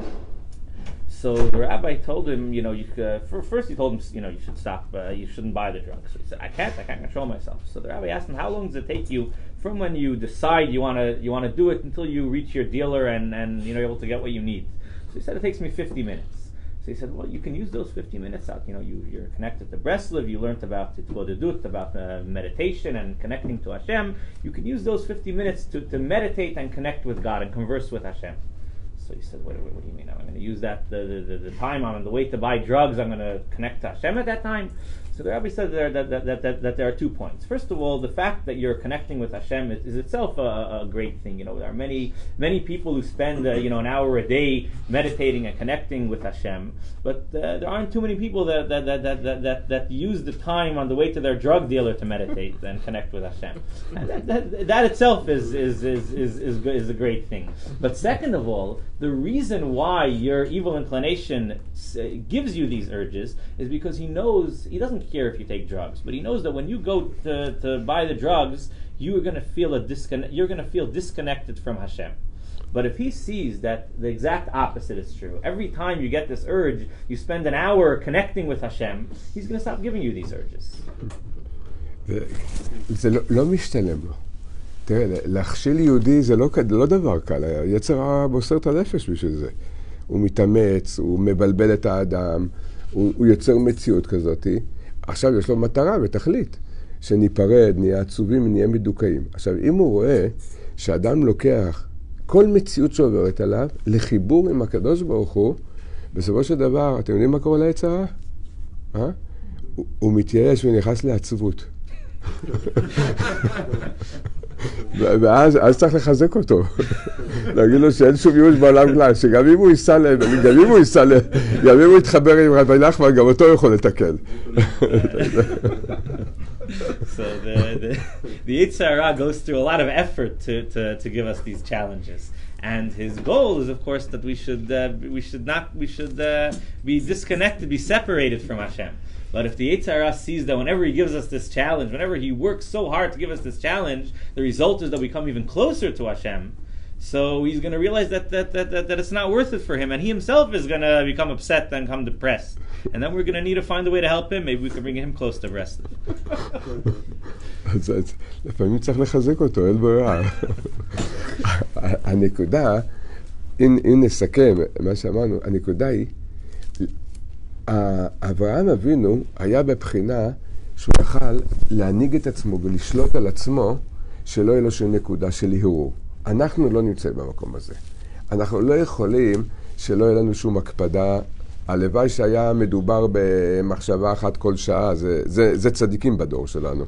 זה עובר עלינו הרבה, ולפעמים אנחנו נכנסים לקושיות ולהתמרמרויות מאוד אה, גדולות על ההנהגה של הקדוש ברוך הוא. הנקודה היא, וזה מה ש... אחד היסודות הגדולות שהחסידות בכלל, ורבי נחמן בפרט, מלמדים אותנו, זה איך לקחת את המצבים שעוברים עלינו, גם המצבים הלא נעימים, גם המצבים שהם מנוגדים לקדושה, לכאורה מנוגדים לקדושה, ולהפוך את כולם לחיבור עם הקדוש ברוך הוא. אפשר דוגמאות בבקשה? מה? אפשר דוגמאות? עוב- עובר אדם עכשיו כועס, כועס על משהו. לקחת את הכעס הזה זה יכול להיות באותו רגע, זה יכול להיות אחרי שעה, יכול להיות בזמן התפילה, או כשאדם עושה חשבון נפש, לקחת את הכעס הזה ולספר לקדוש ברוך הוא, אני כועס עליך. אתה יודע, אני כועס עליך. אבל תדע לך שאני עושה תשובה על זה שאני כועס עליך. אני מצטער. מה אני אעשה? אני, בנ... אני במצב כזה, אני במצב רוחני כזה, שעדיין אני כועס עליך. לא מצליח, אני לא מצליח. אה, אני יודע שלפי האמת אני לא צריך לכעוס עליך, ואני יודע שלפי האמת כל מה שאתה עושה הכל לטובה. אבל אני אגיד לך את האמת, לא מצליח. הנה, אני כועס עליך. להבין גם שאני כועס על אשתי, על הילדים שלי, או על, על מישהו, גם זה, גם מי עשה את זה בסופו של דבר? יש עוד, אין עוד מלבדו. אתם יודעים, דבר מאוד מעניין. דוד המלך, כל ימי חייו, הוא ידע שהוא צריך להיות רגל רביעית של המרכבה. דוד המלך ידע, הוא היה בא, אביהם של בעלי רוח הקודש, הוא ידע שהוא צריך להיות אביהם של... אה, הוא היה צריך להיות רגל רביעית של המרכבה. זה תיקון הבריאה, זה תיקון כיסא הכבוד. דוד המלך ידע את זה. מה הוא עשה כל ימי חייו לכבוד השם? חצות לילה אקום להודות לך על משפטי צדקך. דוד המלך לא ישן, שישים נשמתים של סוס. אומר שירות ותשבחות. בבוקר מה הוא עושה? מנהיג את עם ישראל. יוצא למלחמות בשביל עם ישראל, בשביל הקדוש ברוך הוא, במסירות נפש הכי גדולה. אין שנייה אחת בחיים של דוד המלך שלא הכל מסירות נפש לכבוד השם. נכון? דוד המלך זכה להיות רגל רביעית של המרכבה? על כל זה? לא. לא. לא זכה. הקדוש ברוך הוא אמר לו, לא זכית. והוא שאל, והקדוש ברוך הוא אמר, לא, לא, לא זכית, דוד המלך. מה? זה עוד לא הספיק. זה עוד לא היה, זה עוד לא היה מספיק עבודה שהוא, יזכה למדרגה הזאת. אתה יודע מתי הוא זכה? בשעה שהוא ברח מאבשלום, כתוב, ויצא לקראתו איש חשוב, שמעי בן גרה, שהיה מראשי הסנהדרין. הגמרא אומרת, מראשי החכמים שבמשך הדורות הוא היה שמעי בן גרה, הוא לא היה אדם פשוט. הוא אומר, תצא שאול המלך. ושמעי בן גרה היה לו הקפדה על דוד המלך. מה כתוב? ויצא לקראתו ויקלל, וזרק עליו אבנים, ויקללהו קללה נמרצת. מה זה קללה נמרצת? ראשי תיבות, הגמרא אומרת. נואף, ממזר, רוצח, צר ותועבה. הוא קילל אותו בכל הקללות האלה. באמת, לפי ההלכה, מה, מה, דוד המלך מותר לו לעשות לשימי בן גרה? להרוג אותו מיד, הוא מורד במלכות ומלך דן יחידי, לא צריך בית דין. זה הלכה, מלך דן יחידי. יואב בן צוריה, שהיה גיבור נורא מאוד, אמר. היה איתה יחד עם דוד המלך. מה אמר לדוד המלך? המלך רק, ת... לי אסור להרוג אותו בלי שאתה תגיד לי. רק תגיד לי מילה אחת. מילה אחת, ואני מבטיח לך, אני מביא את שמי בן גרה לחיי נצח. אני אתקן אותו בתיקון שלם. במילה אחת רק תגיד לי. מה אמר לו דוד המלך? השם אמר לו כלל. השם אמר לו כלל. אותו רגע, אומר הזוהר הקדוש, באותו רגע יצאה בת קול ואמרה, זכית להיות רגל רביעית של המרכבה. תבין, תראו, שימו לב ששנים על גבי שנים של מסירות נפש אינסופית. לא ישן, מוסר את הנפש בתורה, בתפילה, במסירות נפש על עם ישראל, מנהיג את עם ישראל, הכל, הוא לא יכול להגיע למדרגה הזאת. מתי הוא מגיע למדרגה הזאת? השם אמר לו כלל. רואים כשאדם מצליח את העולם הפנימי שלו לחבר עם הקדוש ברוך הוא, זה יותר גבוה מכל המעשים ומכל המסירות נפש. הנקודה הזאת. אבל אנחנו כן כועסים, אנחנו כן עצובים, אנחנו כן נופלים בדעתנו. ברוך השם, מעשים שבכל יום. לא צריך uh, להגיד הרבה, הרבה דוגמאות מה עובר על כל אחד ואחד מאיתנו. הנקודה היא לא להתכחש לזה, להיות אמיתיים. כן, אני כועס, אני עצוב, עובר עליי מה שעובר עליי. אבל מיד לקחת את זה לחיבור עם הקדוש ברוך הוא ולא לפירוד. ואפילו אם אדם מרגיש כעס על הקדוש ברוך הוא, על הצדיקים, על התורה, למה אתם כעס... ושוב הוא לא, הוא לא כועס בגלל דברים רעים. הוא כועס כי הוא רוצה לעשות דברים טובים והוא לא מצליח. הוא לא מבין על הדברים הטובים, אני לא מבין. על זה, על זה עיקר הניסיון. אתה אומר, אני מוסר את הנפש בשבילך, ואתה סוגר לי את כל התלתות. אתה זורק אותי מכל המדרגות. לקחת את זה ואת זה לספר לקדוש ברוך הוא ולהגיד לו, אני יודע שהכל הכל לטובה, ואני לא מבין את זה, ולכן אני כועס, אבל אני, עושה תשובה, תרחם עליי, תקרב אותי אליך. תעזור לי אתה לא לכעוס, אני לא יכול לבד לא לכעוס. אנחנו לא שולטים על עצמנו. זאת אומרת שיש פה, עומק עומק הנקודה זה לדעת שאנחנו, להכיר את האמת, להבין את האמת של המצב שלנו, ולהפוך את זה לחיבור ולא לפירוד. conclusion, we're not on the level of Avraham Avinu that we could ha- go through all this, just these challenges and confusion without asking any questions. We have many questions, we have many challenges and many problems with what Hashem does. But our job is to use those challenges, to use those difficulties to become closer to Hashem. If a person gets upset, gets angry for whatever reason, so, so we can't control ourselves. We get angry, and sometimes it could be we can get angry directly at Hashem. Sometimes we can get angry indirectly. We can get angry at uh, our, our family member, a friend, but ultimately it's all coming from Hashem. So what do we do during that time that we're angry? We sit down and we turn to Hashem. We say, Hashem, I'm angry right now. I know I shouldn't be angry, and I know that uh, my this is my test. You're testing me, and I really shouldn't be getting angry. But I'm angry right now, and I know I'm going to do tshuva on this. That I'm angry, but uh, but right now I'm angry, and I'm angry because of this and this that happened. And you use that time that you're angry to speak to Hashem and to come closer to Hashem. And this is the, the ultimate level that a person can reach. We know that that that, that, that David Amelech saw Baruch Hakodesh that his job was to become a, the, the fourth leg of the divine chariot. And he spent his whole life working on it. He would David Melech would spend the whole night studying Torah. He wouldn't sleep more than like sixty breaths, uh, the, the, the amount of the sleep of a horse, as the Gemara calls it. And, um, and he would wake, up exactly at midnight, and and uh, and he would uh, and he would, would would stay up until the morning studying Torah. And uh, how would he spend the whole day? The whole day uh, he would spend in service of Am Yisrael. He would he would wage wage wars on behalf of Am Yisrael. He would uh, put his life in danger for them, and he would do everything he could to help them. And he did this for many many years. He did his whole life. But uh, and he turned to Hashem and he said, Hashem, did I reach the level that I'm supposed to? Did I become the fourth uh, level, leg of the divine chariot? And Hashem said, No, you weren't able to accomplish it yet. When did he accomplish this? When his son, when his son Avshalom rebelled against him, and he had to run away from Yerushalayim. And as he's running away, he's met by, by one of the leaders of the Sanhedrin, Shimi ben Gera, who comes out, he throws stones at David HaMelech, and he begins cursing at David HaMelech. And David HaMelech's general who's standing next to him says, say, you know, I, he needs to be put to death. Uh, say, you know, say the word and I'll kill him. And David HaMelech turns to his general and says, Hashem told him to curse me. And at that point, David HaMelech uh, reached uh, this level that he had been working on his whole life. So we see that the many, many years of Torah and mitzvah of David HaMelech didn't, you know, didn't allow him to reach this level. It didn't elevate him as much as this one time when he had this challenge, and he used the challenge to recognize that it's coming from Hashem and uh, and you know and therefore this applies to all of us even though we we're not able to control the anger and the, the, the, the, sadness that comes but we should we need to use the anger and the sadness to come closer to Hashem and use it as an opportunity to have a dialogue and a conversation with Hashem and, and, and discuss what's happening and that way even the challenges are used as an opportunity to come closer to Hashem. רוצה להגיד לסיום הנושא הזה, שני, שני סיפור שהיה לפני כמה חודשים, בחור, בחור צעיר בירושלים, בחור מאוד טוב, וכדרך העולם עבר עליו ניסיון מאוד גדול. פתאום היה לו יצר רע מאוד מאוד גדול.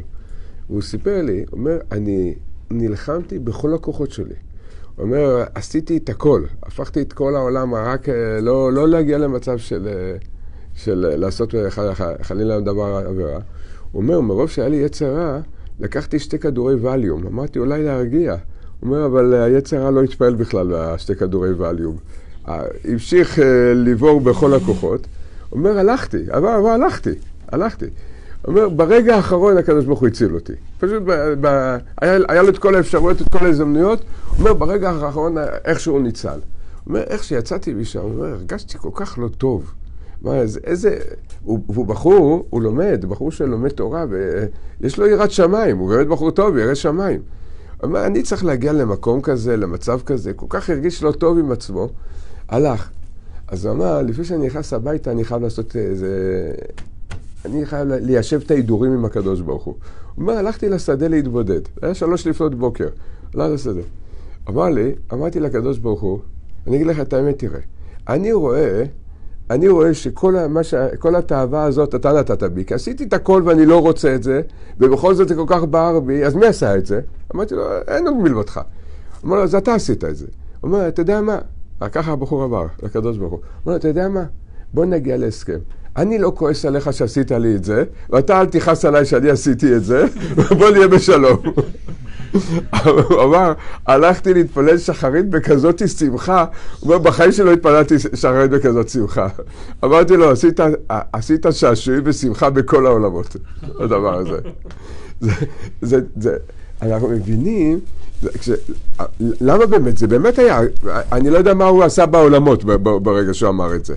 למה? הוא לא חטא אבל. לא, הוא לא חטא, אבל תבין, הוא, הוא הגיע למצב. לא נעים, לא, לא נעים. והוא גם אדם ירא שמיים, הוא לא, הוא לא, הוא לא מחפש את זה. אז זה גורם, באופן טבעי זה גורם צער מאוד גדול.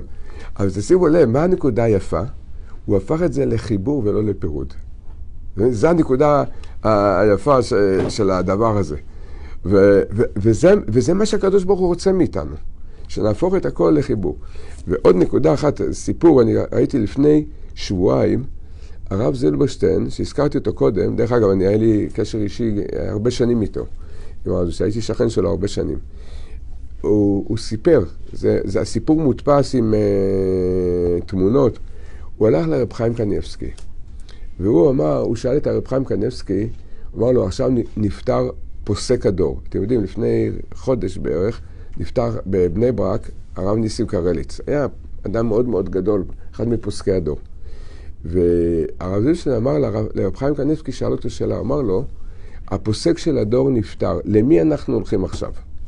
רואים את הענווה שלו, שהוא בעצמו כזה פוסק גדול. הרב זילשטיין שאל את רב חיים קניבסקי, למי אנחנו... מה אמר לו? אתם יודעים מה אמר לו? אמר לו ככה, אומר, עכשיו אנחנו הולכים רק לתפילה. רק לדבר עם הקדוש ברוך הוא, זה הפוסק שלנו. זה לפני שבועיים רב חיים קניבסקי אמר את זה לרב זילבשטיין. הרב אה, הרב זילבשטיין אמר לרב חיים קניבסקי, אבל כבוד הרב, אנחנו מתפללים שלוש פעמים ביום, שחרית, מנחה, ערבית. מה אתה אומר לנו ללכת לתפילה? זה מה שאנחנו עושים. אתה יודע מה אמר לו? אמר לו, לא התכוונתי לזה. התכוונתי שתלכו לדבר עם הקדוש ברוך הוא כאשר ידבר איש עם רעהו. זה הפסק של הדור. זה רב חיים קניבסקי אמר את זה לפני כמה ימים. כן, כן. זה, זה, בירושלים זה מאוד מפיצים את זה. זה ממש חוברת מסודרת, כולל תמונות, שאלה שאלה, אה, זה, שאלה שאלה יש את זה. זה, זה, זה הגיע לפה. מה? כן, אה, דרך אגב, הוא ממש אוחז שהמשיח פה, רב חיים קניבסקי. ממש, הוא אמר, אה, שמעתי כבר כמה פעמים ממנו, שהוא אמר, אני לא אמרתי שהוא בפתח, לא אמרתי שזה קרוב, אני אומר לכם, הוא איתנו פה. Uh, Rabbi concluded with two stories. Um, the first story was about a, a, a young man who was, you know, spent his time studying in yeshiva, studying Torah, but uh, he, once uh, was overcome with a very strong urge and desire. And he did everything he could to fight against it, and uh, he even took, took uh, Valium, but nothing. Uh, he wasn't able to, to control it, and he actually headed out to, to to do whatever he wanted to do. And it was only at the last minute that Hashem saved him as he was actually coming to the the, the spot. Uh, you know, he, he finally realized where, where he was, and he was very disturbed by it. And he went out uh, into the field to meditate. And he turned to Hashem and he said, Hashem, uh, this this I, I don't want to do any of these things. It's not it's not me. It's you who are putting these urges into me. And um, and I, I know it's all from you. So let's reach an agreement, Hashem. I'm not. I'm going to forgive you. I'm not going to be angry at you for giving me these urges, and you're not going to be angry at me for following these urges. And he was so excited by this agreement that he made with Hashem that he went to daven and he said he never davened so beautifully, so with such joy in his whole life. And when he told the story to, to the rabbi, the rabbi told him that, that he caused great joy in, in, in heaven. That's the first story. The second story uh, happened just recently, uh, a couple of weeks ago. Rabbi Nissen Karelis passed away. So Rabbi Zilberstein went um, uh, went to Chaim Kanievsky, and he says, "Well, you know, the, the one of the, you know, the leading halachic authority in the generation is not with us. You know, well, who do we turn to now? So Chaim Kanievsky says, we, we pray to Hashem. So he said, what do you mean pray to Hashem? We, we've been praying to Hashem all our lives. We pray to Hashem three times a day. So he says, no, we have to converse with Hashem like we converse with, with, our, with our fellow man, with our friends. Um, and that's, uh, that's, he says that, that, that the story was just printed. It's all over Yerushalayim. Everybody is, is talking about this now. Uh-huh. אפשר שאלה? אוקיי, אז אה, רק רציתי לב... I just wanted to understand I just wanted to confirm that I understood properly. Before the last two stories, Rabbi speaks English. No? ליטל ביט. Ah, I thought- Uh, so- ask him if he understands, and then I'll translate. בסדר, תגיד את זה באנגלית, אני ב- בינתיים הבנתי. Okay. אם לא, זה... So, are you are you saying that even if a person doesn't yet reach the level of living Hashem Amar Lo Kaleh, that He's really accepting everything perfect, which you said we're going to struggle with, right? So even during that time that he didn't reach that level, but he wants it, and he's talking to Hashem about it, and he's making an effort, milvad, other than the fact that this brings him close to Hashem, which is really what Hashem wants, are you saying that that that that desire, shuotze, and that ishtadlut, shumitametz, that in and of, in and of itself fix, fixes the inyan of Abraham that we're not on the level to be perfect with all the כן, time? כן. Even if he didn't reach the level yet of perfect accepting everything, זה עצמו, זה התיקון? זה התיקון עצמו, זה עצמו התיקון. כי, בש, למה זה התיקון? כי בשורש, כל ה... ה אני לא ניכנס כרגע כי זה נושא עמוק, אבל כל מושג הטומאה, יש קדושה מול טומאה, נכון? כל מושג הטומאה זה, זה דבר אחד, זה נקודה אחת, פירוד מהשם.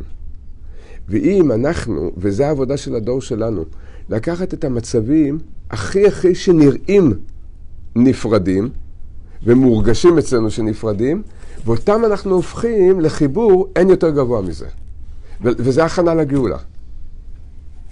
אני אספר עוד סיפור שזה יהודי שהיה גר פה במיאמי, הוא למעשה, הוא ישראלי, היה פה כמה שנים, הוא עלה, ל- עלה לארץ, ואנחנו ידידים טובים. זה היה לפני אה, שנה וחצי, שנתיים, הוא סיפר לי את הסיפור הזה. הוא אומר, ככה הוא גם סיפר לי. הוא אומר לי, יום אחד עשיתי טעות. הוא לא אמר לי במה. עשיתי איזה טעות. הוא אומר, והמנהג שלי לפני השינה, אני זה, עושה תמיד אה, וידוי דברים, מתחרט על מה שאני לא עשיתי בסדר, אני מתחרט. הוא אומר, עשיתי כהרגלי, עשיתי וידוי דברים, והתחרטתי, עשיתי תשובה, ביקשתי שזה לא יקרה, נכנסתי לישון. אחרי, הוא אומר, אני נכנס לישון, אני מרגיש בלב שעוד לא. לא סגרתי את התיק. התיק לא מסודר בפרקליטות למעלה.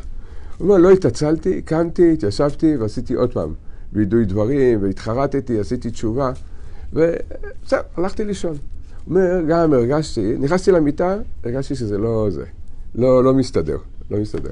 הוא אומר, פה כבר התחלתי להקפיד. פה התחלתי כבר לכעוס. מה זה לא מסתדר?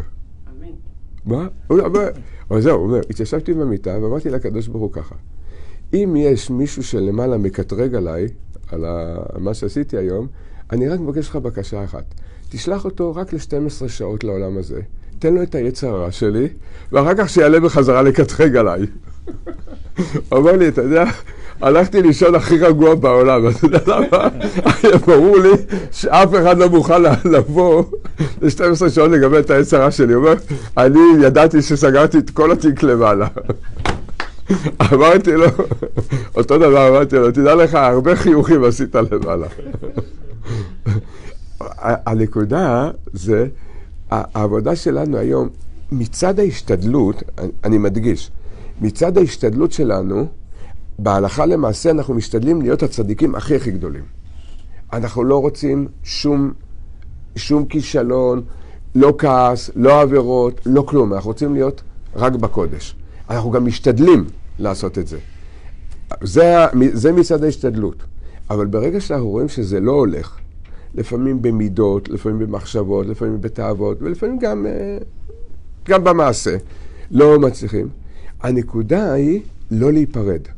להפוך את זה לתשובה, לתפילה, לדיבור עם השם, לחיבור ולא לפירוד, וזה נקודה, רבי נתן כותב בליקוטי הלכות, זה נקודת משיח. וזה היה המעלה של דוד המלך. שהעבודה, העבודה של משיח בן דוד הוא דוד. זה כתוב בספרים הקדושים, מה הכוונה הוא דוד? אותה, אותה בחינה. זו אותה בחינה. שהשם אמר לו כלל. ולא רק זה, דוד, דוד המלך, כל, כל ימי חייו, מה אומר לקדוש ברוך הוא? מזמור לדוד בבואכו מפני אבשלום בנו. הגמרא אומרת, מזמור? קינה מביילה. תגיד קינה, מה אתה אומר מזמור? אבל זו העבודה של דוד המלך. כל, את הכל להפוך למזמור ולחיבור לקדוש ברוך הוא, וזה מלך המשיח. מיגון משמחה. מהגון משמחה. זה, זה, זה הנקודה של המשיח. Want to translate it? I can each listen. Okay, so so in conclusion, he said that that that that, that uh, the whole idea of impurity of tumah is is separation, separation from Hashem, and our job is to take the impurity, the separation, and use that as opportunity to connect with Hashem, to come closer to Hashem. And he said a story. I remember the details. um, שלא, שלא, שלא נרדם. Oh yeah, so yeah, uh, yeah. He, said a story about, about, about someone from that, lived in Miami for a long time, and he uh, about a year and a half ago he moved back to Israel, and um, and he and he and he told the, the rabbi the story. He said that every night before he goes to sleep, he he goes over, he reviews everything that happened during the day, you know, any any, any anything he, anything he may have done wrong, and he speaks to Hashem and he works everything out, and he you know he closes everything out. And one night he he he, he finished uh, the whole. He went through the whole process and he tried to go to sleep, but he felt that uh, the case wasn't closed. There's still uh, something still bothering him. So he got up again and he went through the whole process again. Again, he thought over everything he did and he worked it out. He spoke with Hashem, and again he tried to go to sleep, but again he still felt that that, that something was still bothering him. The case still was not closed. So, so he got up and he said to Hashem, he said, you know, Hashem, if, if obviously if uh, it's still bothering me, it means that it's still bothering you. There's still some, some there's, still, there's still someone up there complaining about what happened today. So whoever's complaining up there, send them down here for 12 hours and let them experience the, the tests and the challenges that we have down here. And then once, they, after 12 hours, they can go back up, and if they still want to complain, then they could complain. And uh, then he said, I felt that the case was closed and I was able to, to, to go to sleep. And the rabbi told him that he caused great joy up in, up, up, up in heaven. So uh, yeah, so that's so, and, and, and then he concluded and he said that that that that, that, that this is the the Nekudav Mashiach. The Nekudav Mashiach is Mashiach is a continuation, a, a Ben David is a continuation of the of the of the job of, of David Amelech.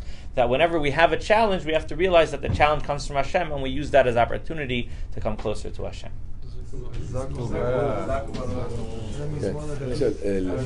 לגבי, כן, כן, שתי שאלות. אחת, לגבי זה, אה? אם אם בן אדם לא עובר עליו כל זה, טוב, טוב. כן, כן. לא אה, אנשים. שהכל עובר להם כביכול חלק. כן. חלק סתם, אני שואל, אתם מכירים, אתם מכירים כזה? זה רק נראה למראית עין, זה מבחוץ, אבל... לא, אז- לא, אז אני, לא, אני אגיד לכם משהו. אה, אז ככה, יכול להיות, וזה שמעתי מאחד הצדיקים של, של הדור שלנו, אדמו"ר מפוריסוב, אמר לי, פשוט הוא עוד לא, עוד לא הכניסו אותו לחיידר. הוא נקרא בכיתה גן או בכיתה מכינה. התיקון. זה עוד לא התחיל את התיקון.